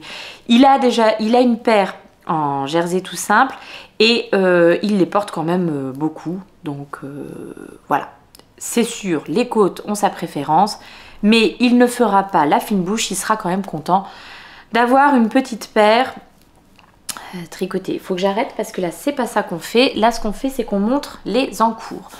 On va rester sur de la chaussette, mais une chaussette un petit peu plus euh, rigolote. Dans un joli petit sac, un petit pochon qui m'a été euh, offert et qui arrive tout droit du Canada. Encore un grand, grand merci. Et regardez la petite beauté que j'ai là-dedans. Oh, c'est joli alors, il y a deux beautés là-dedans. C'est la chaussette et le contrant. Alors, regardez, regardez-moi ce chic absolu. Donc, euh, je tricote ma chaussette que j'ai montée à la Saint-Valentin et euh, donc motif petit cœur et j'ai le contrant de Mademoiselle Pluche terminé par la petite breloque euh, en cœur. Le contrant spécial chaussette parce que donc c'est une grille jacquard et même si je peux me repérer, je sais où j'en suis dans mon jacquard, hein, parce que ça se, ça se lit, c'est un petit dessin, euh, ben voilà, je suis contente d'avoir mon compte rang pour savoir à quel rang, rang j'en suis. Donc euh, je progresse très peu vite sur celle-ci parce que j'ai préféré faire euh, soit des chaussettes en jersey, soit l'autre truc que je vais vous montrer après. Mais euh, je progresse tout de même. Et, et ben voilà, je suis là en 2,50 sur les Socken, Socken Wunder classiques. Donc pareil, mes petites aiguilles avec, avec une aiguille plus grande que l'autre ça sera mieux. Mais avec le bout, euh, bah, franchement, la différence, elle est mince, hein, vraiment. Ah, alors en fait, il n'y a qu'une aiguille euh, qui est plus pointue. Si je dis pas de bêtises. J'ai ma machine à laver et mon sèche-linge en route là. J'espère que ça ne fait pas trop de bruit à la, parce que je, moi je l'entends beaucoup là, donc euh, j'espère que ça fait pas trop de bruit. Donc je pense qu'il n'y a qu'une aiguille dans les Second Wunder Lace. Il n'y a qu'une aiguille qui est euh, pointue et c'est la plus grande des deux. Celle que vous tenez à droite quand vous tricotez à l'anglaise comme moi ou celle que vous tenez à gauche quand vous tricotez à la continentale. Euh, voilà. Alors que dans les classiques euh, Wunder, les deux sont euh, plutôt rondes. Vous avez vu comme elles se sont oxydées? Il faut dire qu'elles servent. Hein. Franchement, Aurore, encore merci. Hein. Je m'en sers tout le temps. Donc voilà. Alors, qu'est-ce que c'est que ce magnifique petit modèle? Eh bien, c'est un magnifique petit modèle issu du Charming Colorwork Socks. Un livre de Charlotte Stone. Et voilà, c'est ce modèle. Oh, c'est pas où Trop, trop, trop joli. Et ce livre m'a été offert également euh, lors du festival euh, exceptionnel, pareil. Un gros gros bisou. Euh, voilà, donc c'est un petit régal à tricoter parce que bah, c'est du jacquard, c'est sympa, enfin voilà, c'est toujours, c'est très gratifiant hein, quand on voit son, motif qui apparaît, mais c'est vrai que j'ai préféré faire d'autres choses pour l'instant, donc voilà, tranquillement. Puis c'est un peu le jeu, hein, quand on a beaucoup d'encours en même temps, bah, les choses progressent, mais elles progressent doucement. L'Hélène, je vous en ai même pas parlé. Oh ben on va voir un truc que vous n'avez jamais vu. Hein. Regardez-moi ça. Mais ça serait-il pas de la javole de langue? C'est vraiment décidément la laine vers laquelle je me tourne à chaque fois que j'ai un projet euh, un peu euh, rapide en, chaussettes à faire. Euh, je cherche le coloris, c'est le coloris 830127. Euh, langue, hein, euh, n'hésitez pas, hein, si vous voulez me faire des partenariats. J'aurai encore des trucs langue à vous montrer plus tard. Euh, j'en ai encore acheté d'autres. La, Javol, je crois que j'aurais testé toutes les couleurs de chez eux. Et pour le coloris contrastant, je prends de la West Yorkshire Spinner, signature 4ply. Le coloris, c'est Cayenne Pepper. Et c'est un reste que j'avais euh, avec lequel j'avais tricoté les contrastants de mes chaussettes de Noël de cette année. Et euh, voilà. Les deux ensemble, ça fait cette petite chose-là. Trop jolie. Trop, trop, trop jolie. Mais qui progresse pas très vite. Et enfin, le dernier en cours un peu... Euh, oh, moi, je, vous ai... je vous ai montré ça, je vous ai montré le joli petit sac, mais je vous ai même pas dit... Ah la petite beauté, est-ce qu'on la voit bien, de chez Yarneline. Et celle-ci, c'est de chez Madame Manon. Voilà. Quand, oui, hein, je vous mettrai les liens vers les boutiques euh, en dessous. Et donc, euh, malgré mon appel à langue, hein, je ne suis pas rémunérée pour vous parler des choses que je vous présente. Euh, c'est vraiment parce que c'est des petits coups de cœur que je vous montre et que je vous parle de tout ça. Bah celui-là aussi, il faut que je vous en parle. Regardez ce beau sac que Margeva m'a offert. Mon petit chat. Margeva, encore un grand merci hein, si tu passes par ici. Trop trop chouette. Avec des beaux renards. Et l'intérieur est magnifique aussi. J'enlève mes explications puis je vous montre. Le tissu à l'intérieur, il est superbe. Voilà. Alors, qu'est-ce qu'il y a euh, dans ce, dans ce beau sac. Un pull, ça nous change des chaussettes.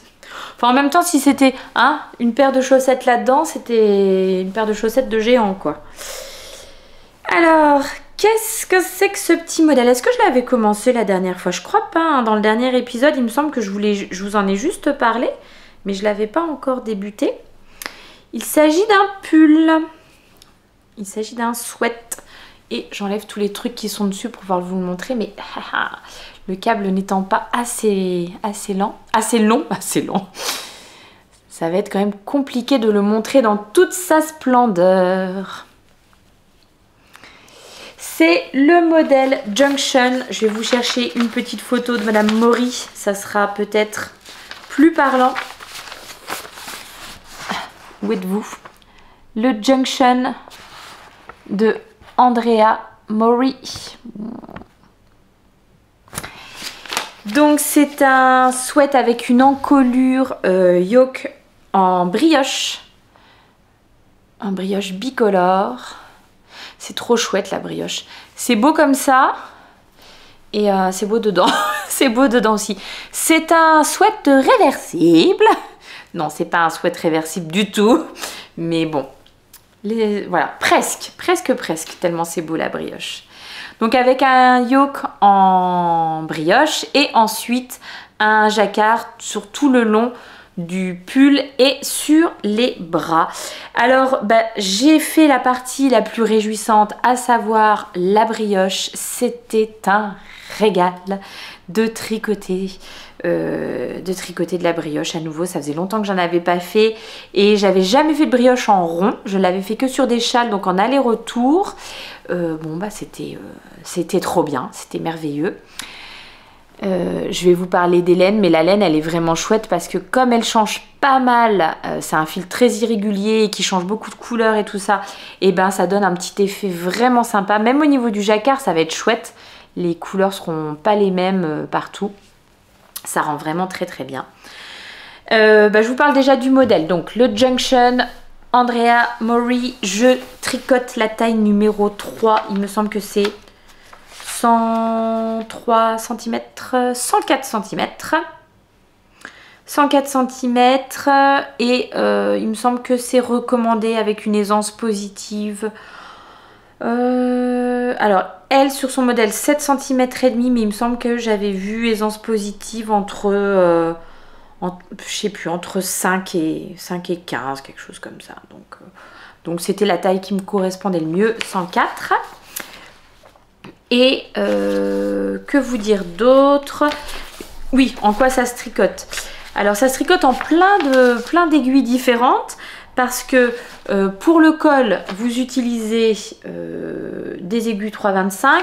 Pour la brioche, des 3,50. Et là pour le corps, je suis en 3,75. Et pour les manches, elle conseille de prendre des 4 si on tricote en mini circulaire c'est ce que je fais.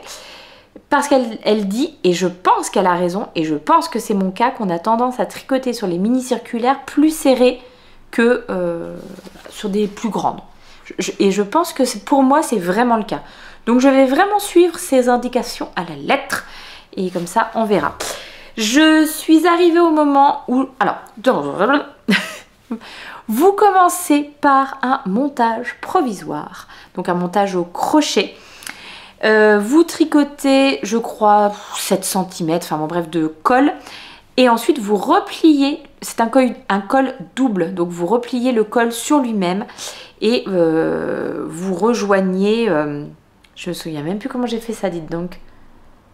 Ah bah j'ai dû tricoter les trucs. Alors là, je me rappelle même plus. Bon, la technique est détaillée dans le patron. Il y a même une vidéo pour ça. Donc c'est que ça devait être bien expliqué. J'ai complètement oublié comment, comment j'ai fait ça. Ensuite, vous attaquez la brioche. Euh, c'est hyper facile, hyper jouissif. Il y a vraiment, si c'est une technique qui vous inquiète, euh, bah, ne craignez rien quoi. Il n'y a rien de très très compliqué. Euh, faut être concentré, mais même au bout d'un moment, je l'ai fait au tricoté. Alors que pour celles qui vont au tricoté ou que vous alliez dans n'importe quel tricoté euh, n'importe où en France, je pense que c'est chez vous, il y a la même malédiction que chez nous. C'est qu'on est tellement absorbé par le papotage avec les copines qu'on finit par faire n'importe quoi dans nos tricots et généralement tu détricotes plus en rentrant chez toi que ce que tu as tricoté au tricoté. Donc c'est pour ça que généralement les anciennes viennent avec des projets euh, du jersey en rond ou des trucs comme ça, les habitués.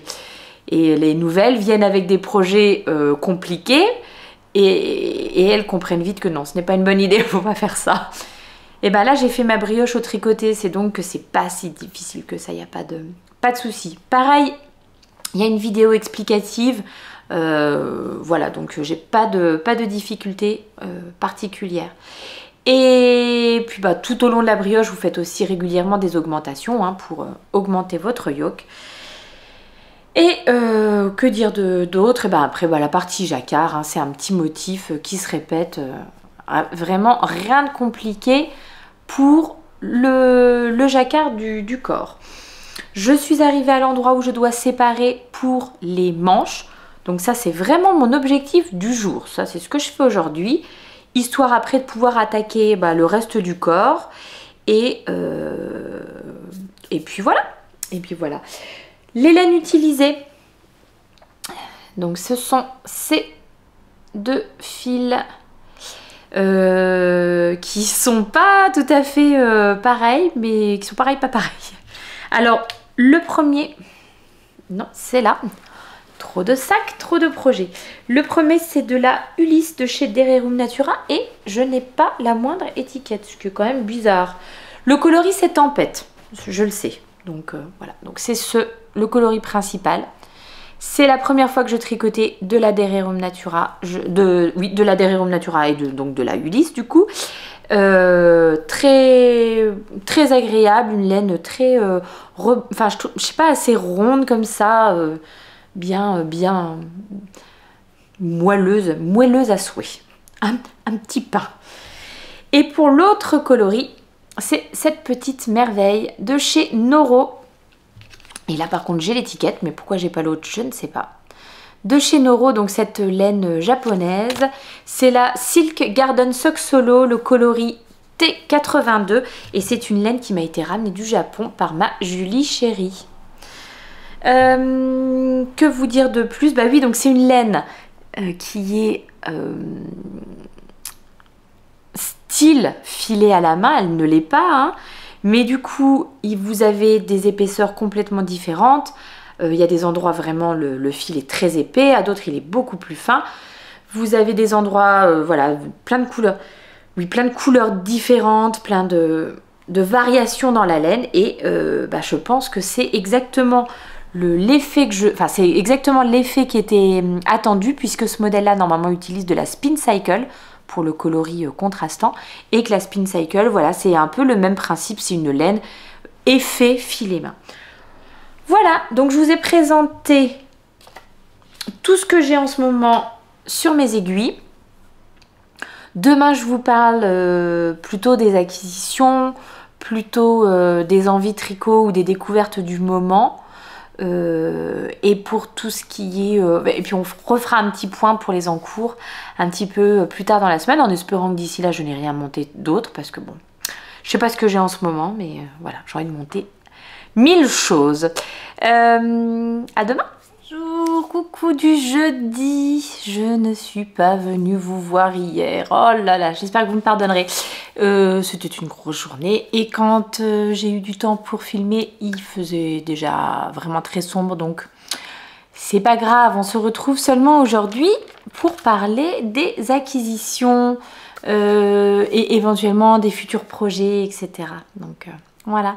Et vous avez vu qui est-ce qui porte son Aros sweater presque presque sans être vaché après lui? J'avais reboulé les manches pour euh, le repas de midi. C'était plus simple.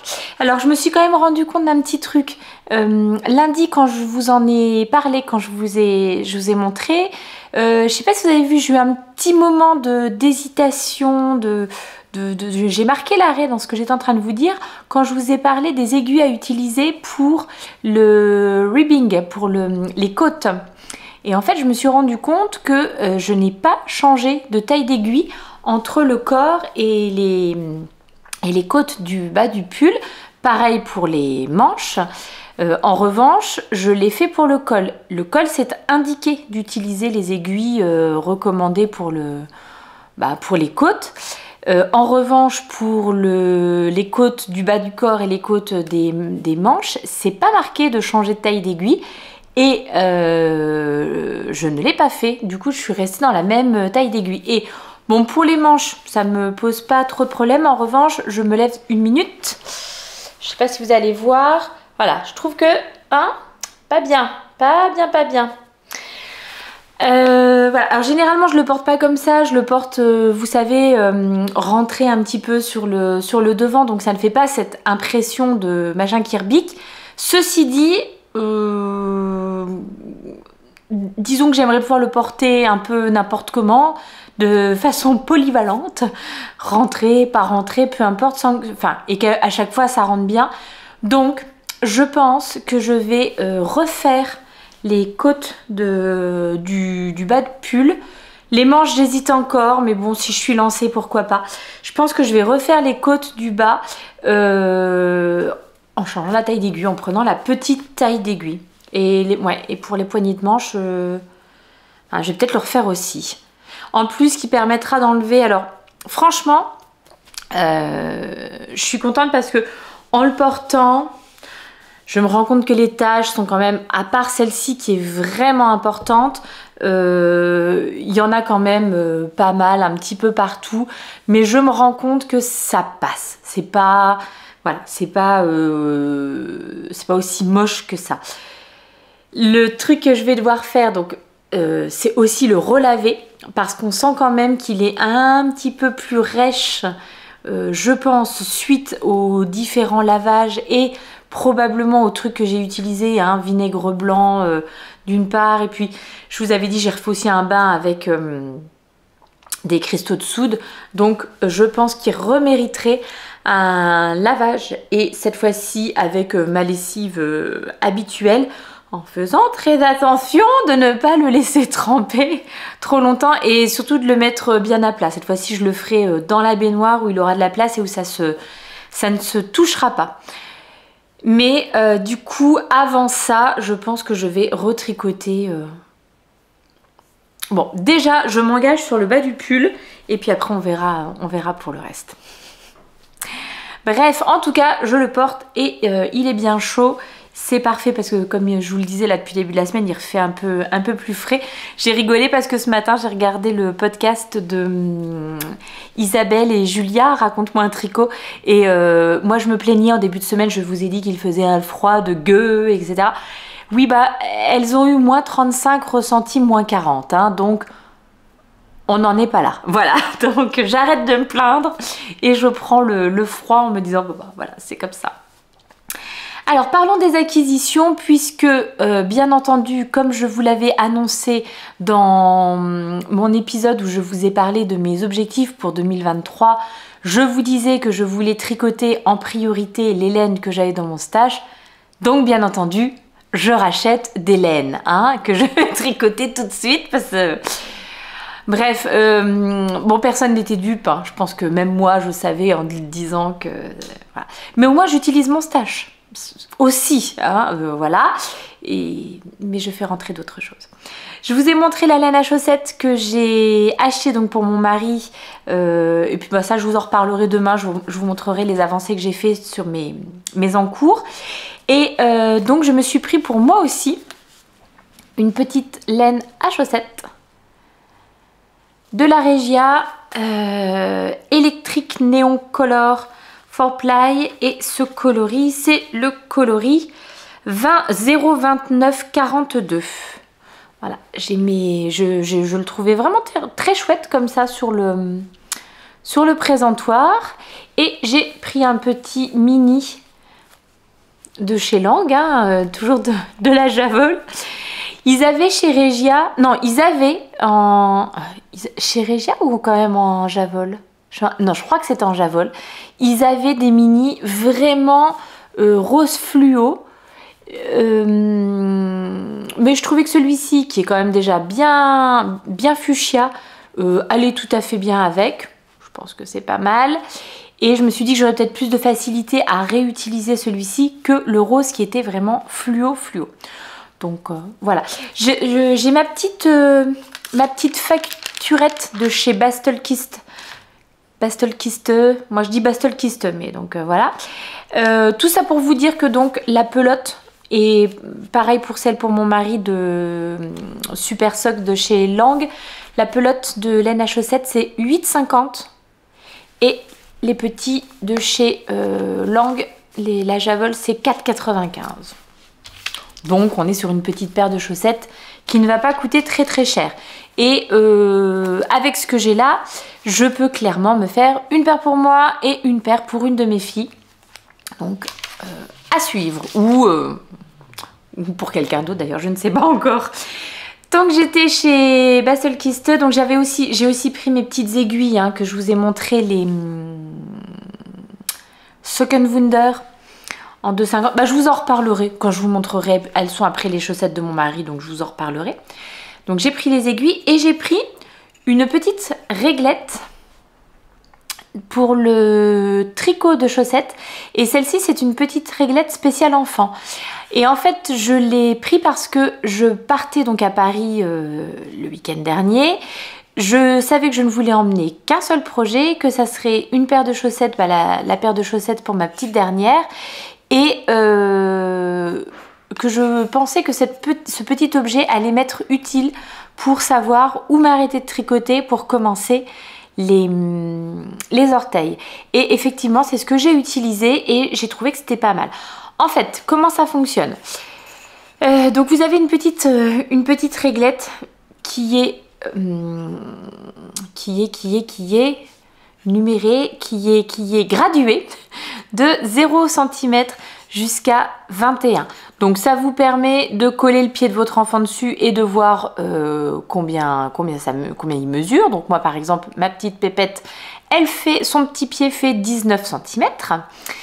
Euh, et ensuite, ça vous permet de, comme on sait généralement que euh, on doit arrêter son tricot de chaussettes, enfin son pied de chaussette 5 cm avant la longueur totale du pied.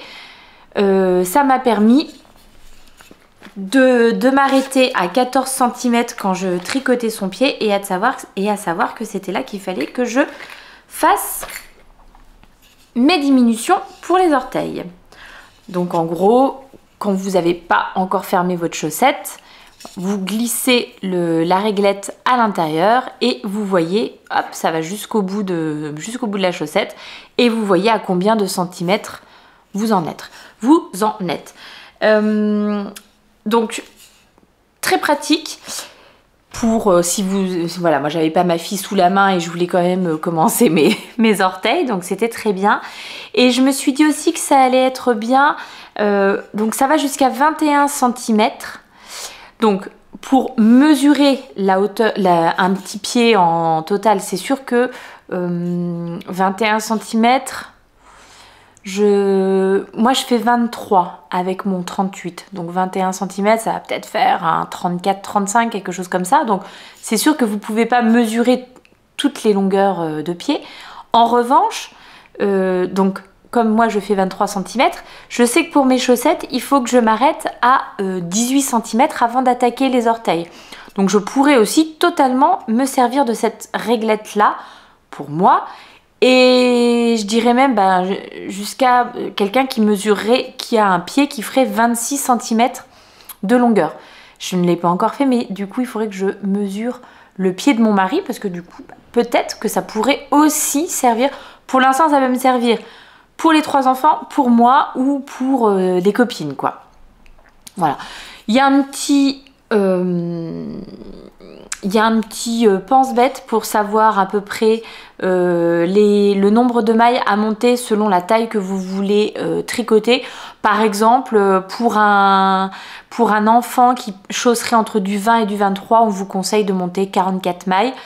voilà, un enfant qui ferait entre du 28 et du 31, plutôt 52 mailles. C'est pas, pas déconnant, c'est ce que je fais moi j'ai monté là pour la petite dernière, j'ai fait 56 mailles, elle fait un 31, j'ai fait 56 mailles mais sur du 2,25. Ça donne un ordre, un ordre d'idée. Et puis là, pareil, à titre indicatif, on vous dit que pour un, enfant qui mesure entre du 30 et du 31, voilà à peu près où est-ce qu'il faudrait s'arrêter pour lui tricoter euh, avant de commencer les orteils. Et que euh, en pointure, si je vous montre de loin, vous n'allez pas voir. Voilà, un enfant, là une pointure 30-31, ça équivaut à à peu près entre 19 et 20 cm de longueur totale de pied. Et l'endroit où s'arrêter pour quelqu'un qui fait du 30-31, avant de commencer les orteils, ça serait ici. Voilà, c'est à titre indicatif. Si vous avez la longueur du pied de la personne pour qui vous tricotez, ça peut être encore mieux. Et puis bon, il y a toujours une petite euh, gauge euh, à gauche. Hmm, voilà, je ne trouve plus mon mot, donc ça sera gauche pour l'instant. à aiguille sur le côté pour savoir si la taille de vos aiguilles c'est par hasard effacée, enfin que vous ne voyez pas bien, savoir quel type d'aiguille vous avez. Voilà, et ce petit article là c'était 13,95. Euh, à voir si ça me sert suffisamment pour que je me dise que peut-être je pourrais en racheter un taille euh, adulte ou à voir ce que j'arrive à tricoter avec avant de me dire si je rachète quelque chose ou pas. En tout cas, pour là, mon petit, vraiment l'utilité que j'en avais pour tricoter les chaussettes sans avoir la petite sous la main et lui faire essayer tout le temps pour voir où on se en était. Très bien, impeccable. Et les derniers achats ont été faits à Paris. Bon, j'imagine, j'ai même pas encore commencé le montage de cet épisode, mais euh, je vais quand même essayer de faire ça demain. Euh, nous sommes passés avec les copines chez euh, Lille Weasel, dans ce magnifique passage, du, passage du Grand Cerf, il me semble. Passage, oui, passage du Grand Cerf. vous savez, c'est ces passages couverts à Paris où vous avez plein de belles boutiques. Et euh, bah, moi, c'était la première fois que j'allais chez les Louisol, donc j'étais vraiment ravie de découvrir la boutique. Très très beau, que ça soit pour les tissus, pour les laines et tout ça. Ils ont, ils ont deux magasins qui sont l'un en face de l'autre. Euh, un magasin qui va être un peu plus spécialisé dans les tissus, euh, tout ce qui est couture et les laines de teinturière et un magasin avec plutôt des laines euh, industrielles. Les... Mais les deux sont très très chouettes. Euh, comme je n'avais besoin de rien, j'ai acheté un écheveau de laine à chaussettes. J'ai un peu honte, mais bon, c'est comme ça. Alors, pas, vous savez, généralement, moi, j'ai pas du tout de quantité pull à la maison. Et généralement, c'est quand je euh, vais tricoter un modèle que j'achète la, laine dont j'ai besoin. Mais je fais pas trop de réserve avant parce que voilà, j'aime bien utiliser au moment où. Par contre, ça ne vaut pas du tout pour la laine à chaussettes. Là, j'avoue que c'est n'importe quoi. On dirait que je fais collection presque carrément, mais voilà. Donc voilà ce sur quoi j'ai euh, craqué. De la Life in the Long Grass. C'est tellement joli, c'est tellement beau. Je ne sais pas si j'arriverai à vous montrer toutes les nuances de cette laine. Alors entre les violets, les roses, les, les turquoises ici. Hop, je ne suis plus dans le... Les turquoises, enfin... C'est vraiment très très joli. J'ai pas enlevé l'étiquette, j'ai pas vu ce qu'il y avait en dessous. Ah, on est plutôt dans des couleurs comme ça en dessous. Euh, ouais, vraiment trop beau. Et euh, j'étais notamment donc je, vais vous donner les références. Hein. J'étais notamment avec euh, ma Julie chérie là pour ce, week-end. Et on a, elle a pris la même. Et du coup, on s'est dit qu'on allait se faire probablement un petit modèle en... Un petit cal, un petit cal chaussette. Alors, qu'est-ce que c'est que cette merveille? C'est la Fine Sock de chez euh, Life in the Long Grass. Pour 100 grammes, vous avez 435 mètres de fil c'est une 75 Merino Superwash 25% nylon et le coloris, j'aurais dû le chercher avant. Coquelicelle, Coquelicelle, je vous le montre. Voilà. Alors shell c'est le coquillage, donc euh, j'imagine que c'est un truc à voir avec les coquillages. Je regarderai ça. Oh, qu'est-ce que c'est beau, mais qu'est-ce que c'est beau. Magnifique, je suis fanat de cet écheveau, il est superbe. Voilà, et puis comme ça mangeait pas de pain et que ben hein, on n'en a jamais assez des petits bijoux de, tricot. Je suis pris un, un marqueur de maille euh,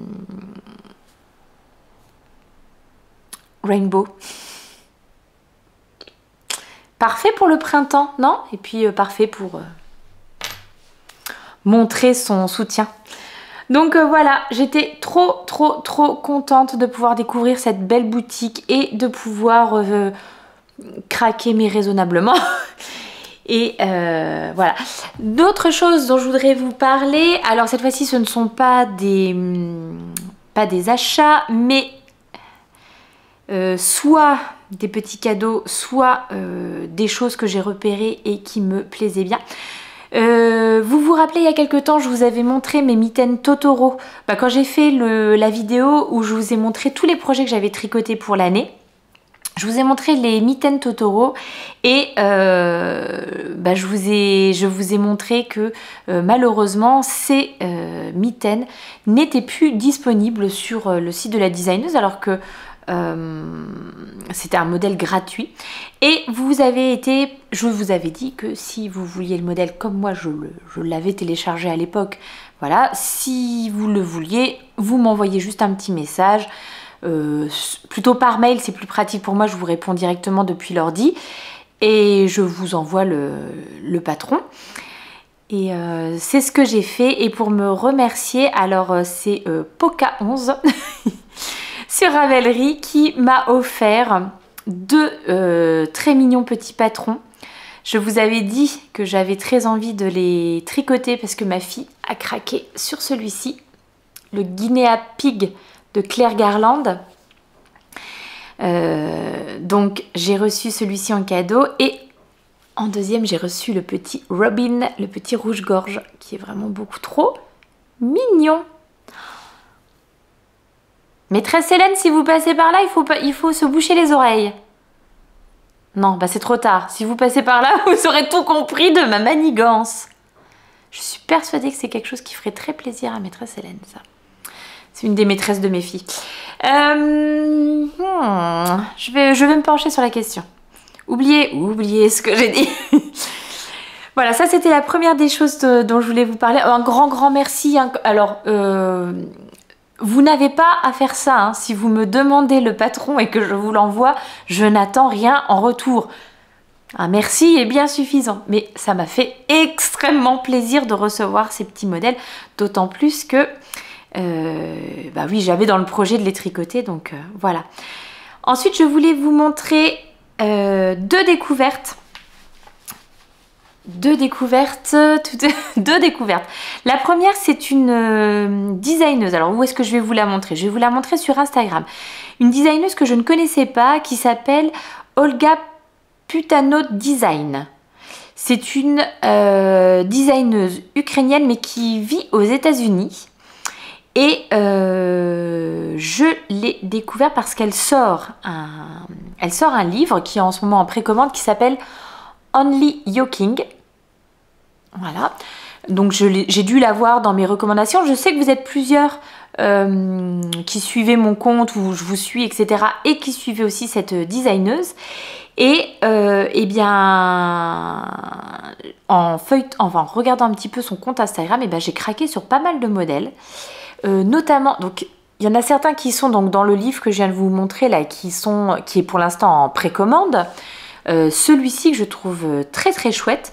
Dans la même veine, vous avez... Alors celui-ci, celui je pense qu'il n'est... C'est juste un réel. Voilà, qui est en DK. Qui est, je trouve, euh, je trouve bien joli. J'aime beaucoup l'association des, couleurs qu'elle a utilisées. celui-ci qui n'est pas le même que le premier que je vous ai montré. Alors pour l'instant, je, ne vous montre que le dos. Et en fait, à chaque fois que je voyais ces modèles, j'imaginais ou je pensais à euh, cet écheveau que j'ai de Woolskin qui m'avait été offert euh, dans le cadre des Velaineux il y a presque, bah, pas, décembre 2022 mais décembre 2021 et que je n'ai pas encore euh, pour lequel je n'ai pas encore trouvé le projet parfait mais euh, ces modèles-là me faisaient... Bah, à chaque fois m'y ont fait penser. Donc je me suis dit, tiens, je vais peut-être euh, regarder ça.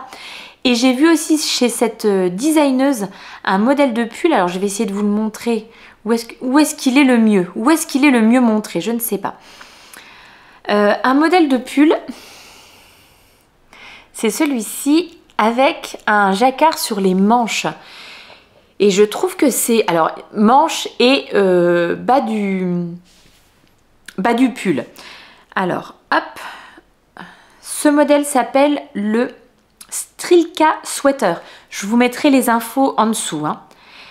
Et donc voilà, c'est un, modèle avec du jacquard au niveau des... Hop au niveau des manches. Ah oui, quand je suis comme ça, je peux pas le passer. Il faudrait que je clique dessus. Je crois que là, par contre, ça va marcher. Donc euh, sur les manches et sur le bas du, bas du pull. Et euh, je le trouve pas mal du tout. Très original, pour le coup. Et pareil, je me dis, tiens, une association, euh, pourquoi pas un pull gris et puis mon, mon écheveau rose bien flash sur les bras, ça pourrait être assez sympa. Je l'aime vraiment bien celui-ci, donc je l'ai mis direct dans mes favoris. C'est pas un modèle de son livre euh, qui est en précommande, c'est un modèle qui est déjà sorti. Il est au prix de 10,06€.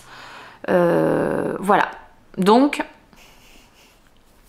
ouais, il me plaît bien. Il faut vraiment que je regarde pour les tailles et tout ça.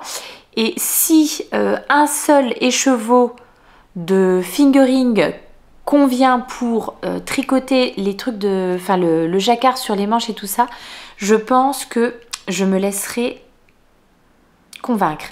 Et est-ce que du coup je craque pour le livre? Je ne sais pas non plus. Bon, bref, voilà. En tout cas, euh, ça fait partie des petites découvertes là de ces derniers temps.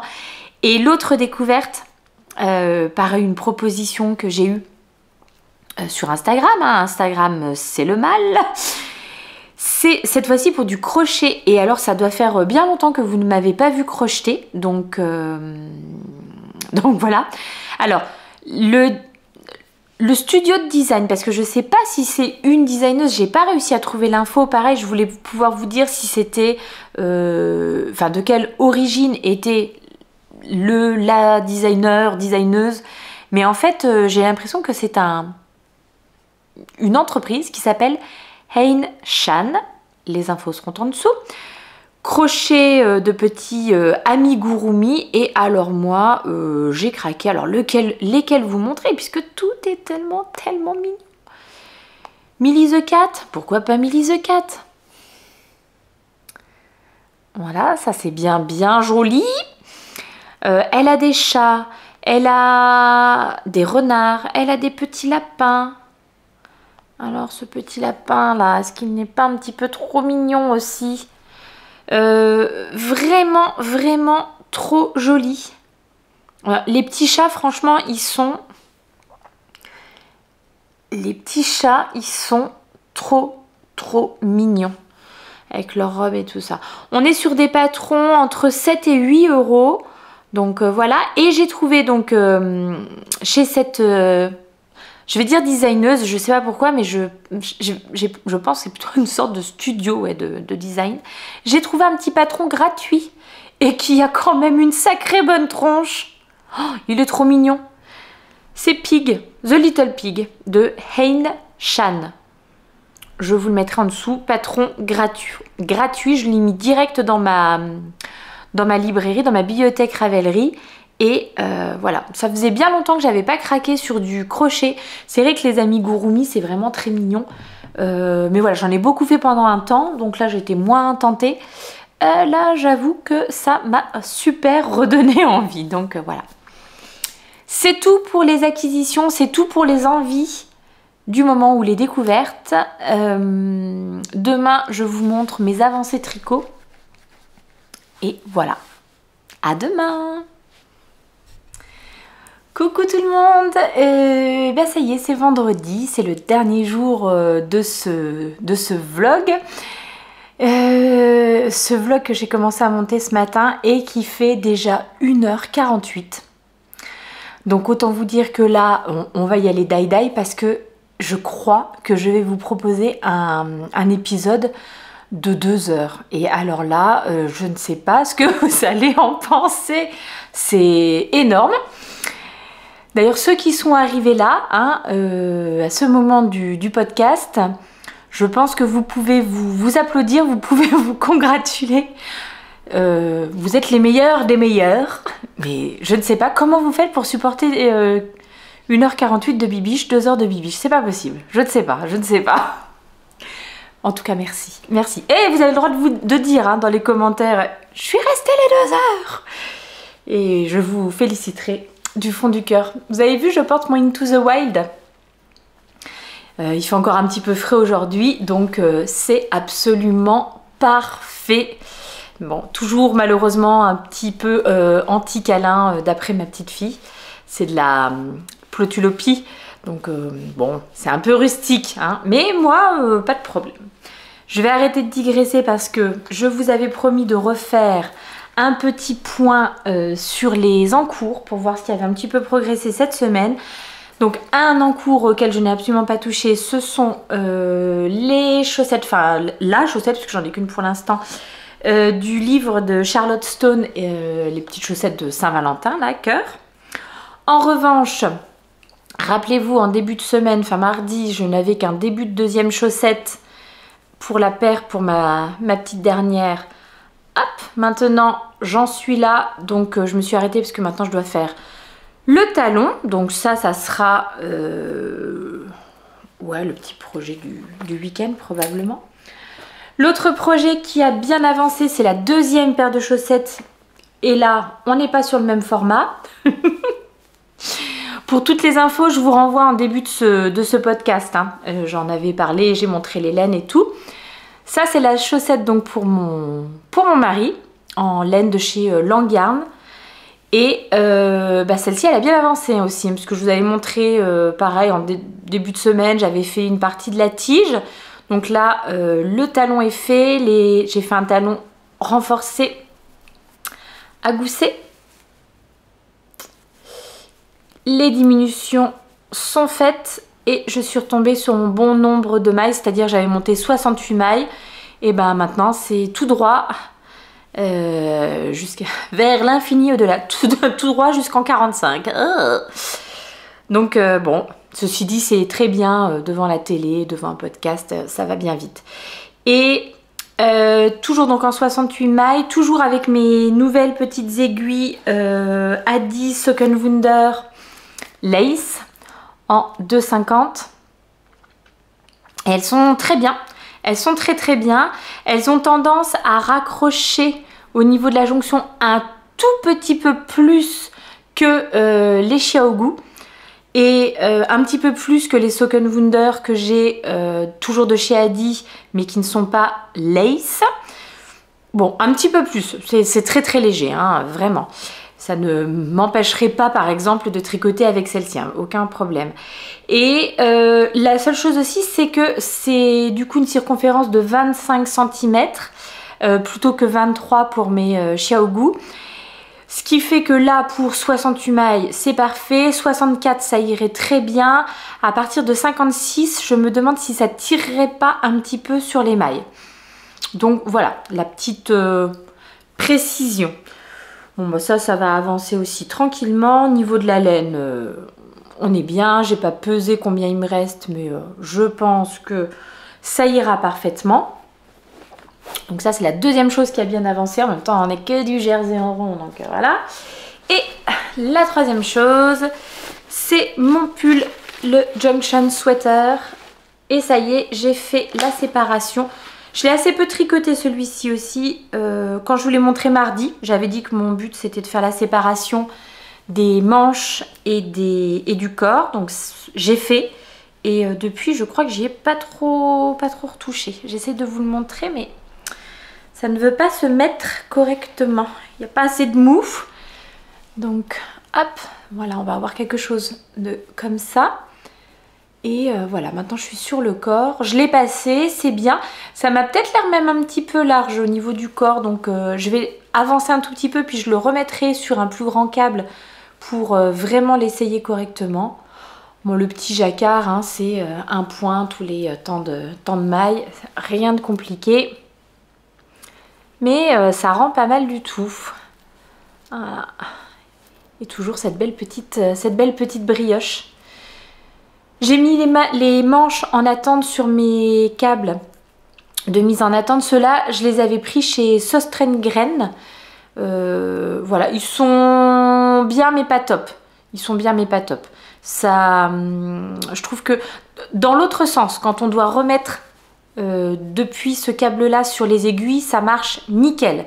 En revanche, dans le sens, on est sur les aiguilles, on doit passer sur le câble, ça raccroche un peu, c'est pas, c'est pas ce qu'il y a de plus, plus sympa. Euh, bon, j'ai déjà fait quoi? 2 cm sous les, sous les, sous les manches? C'est pas beaucoup, hein, mais... Et ce que je vais faire, c'est que tout de suite, immédiatement, je vais mettre un petit euh, marqueur de, de... Un petit marqueur pour Progress Keeper, pour un marqueur de progrès, donc du coup, oh, j'ai eh bien de la peine pour euh, me souvenir la prochaine fois que je vous le montre euh, où j'en étais. Et euh, qu'est-ce que je veux dire? Oui, vous vous rappelez, j'avais rangé mes petits anneaux marqueurs ou mes accessoires. Ça, c'est celle du printemps. Je note que il n'y en a pas énormément. Je, suis plutôt une fille de l'automne. L'automne, c'est blindé de renards. Là, pour le printemps, j'ai quand même des petites choses, mais voilà. Je vais mettre celui-ci. Je pense qu'il va aller très bien. C'est un des derniers qui est rentré dans ma collection. Oh, désolée, vous avez vu mon bobo de doigt en, plein écran. C'est un petit marqueur de chez Fanny Bru, l'atelier euh, de Calixen. Voilà, donc je vais me le mettre sur le pull et euh, ensuite eh ben, on va dérouler tout ça.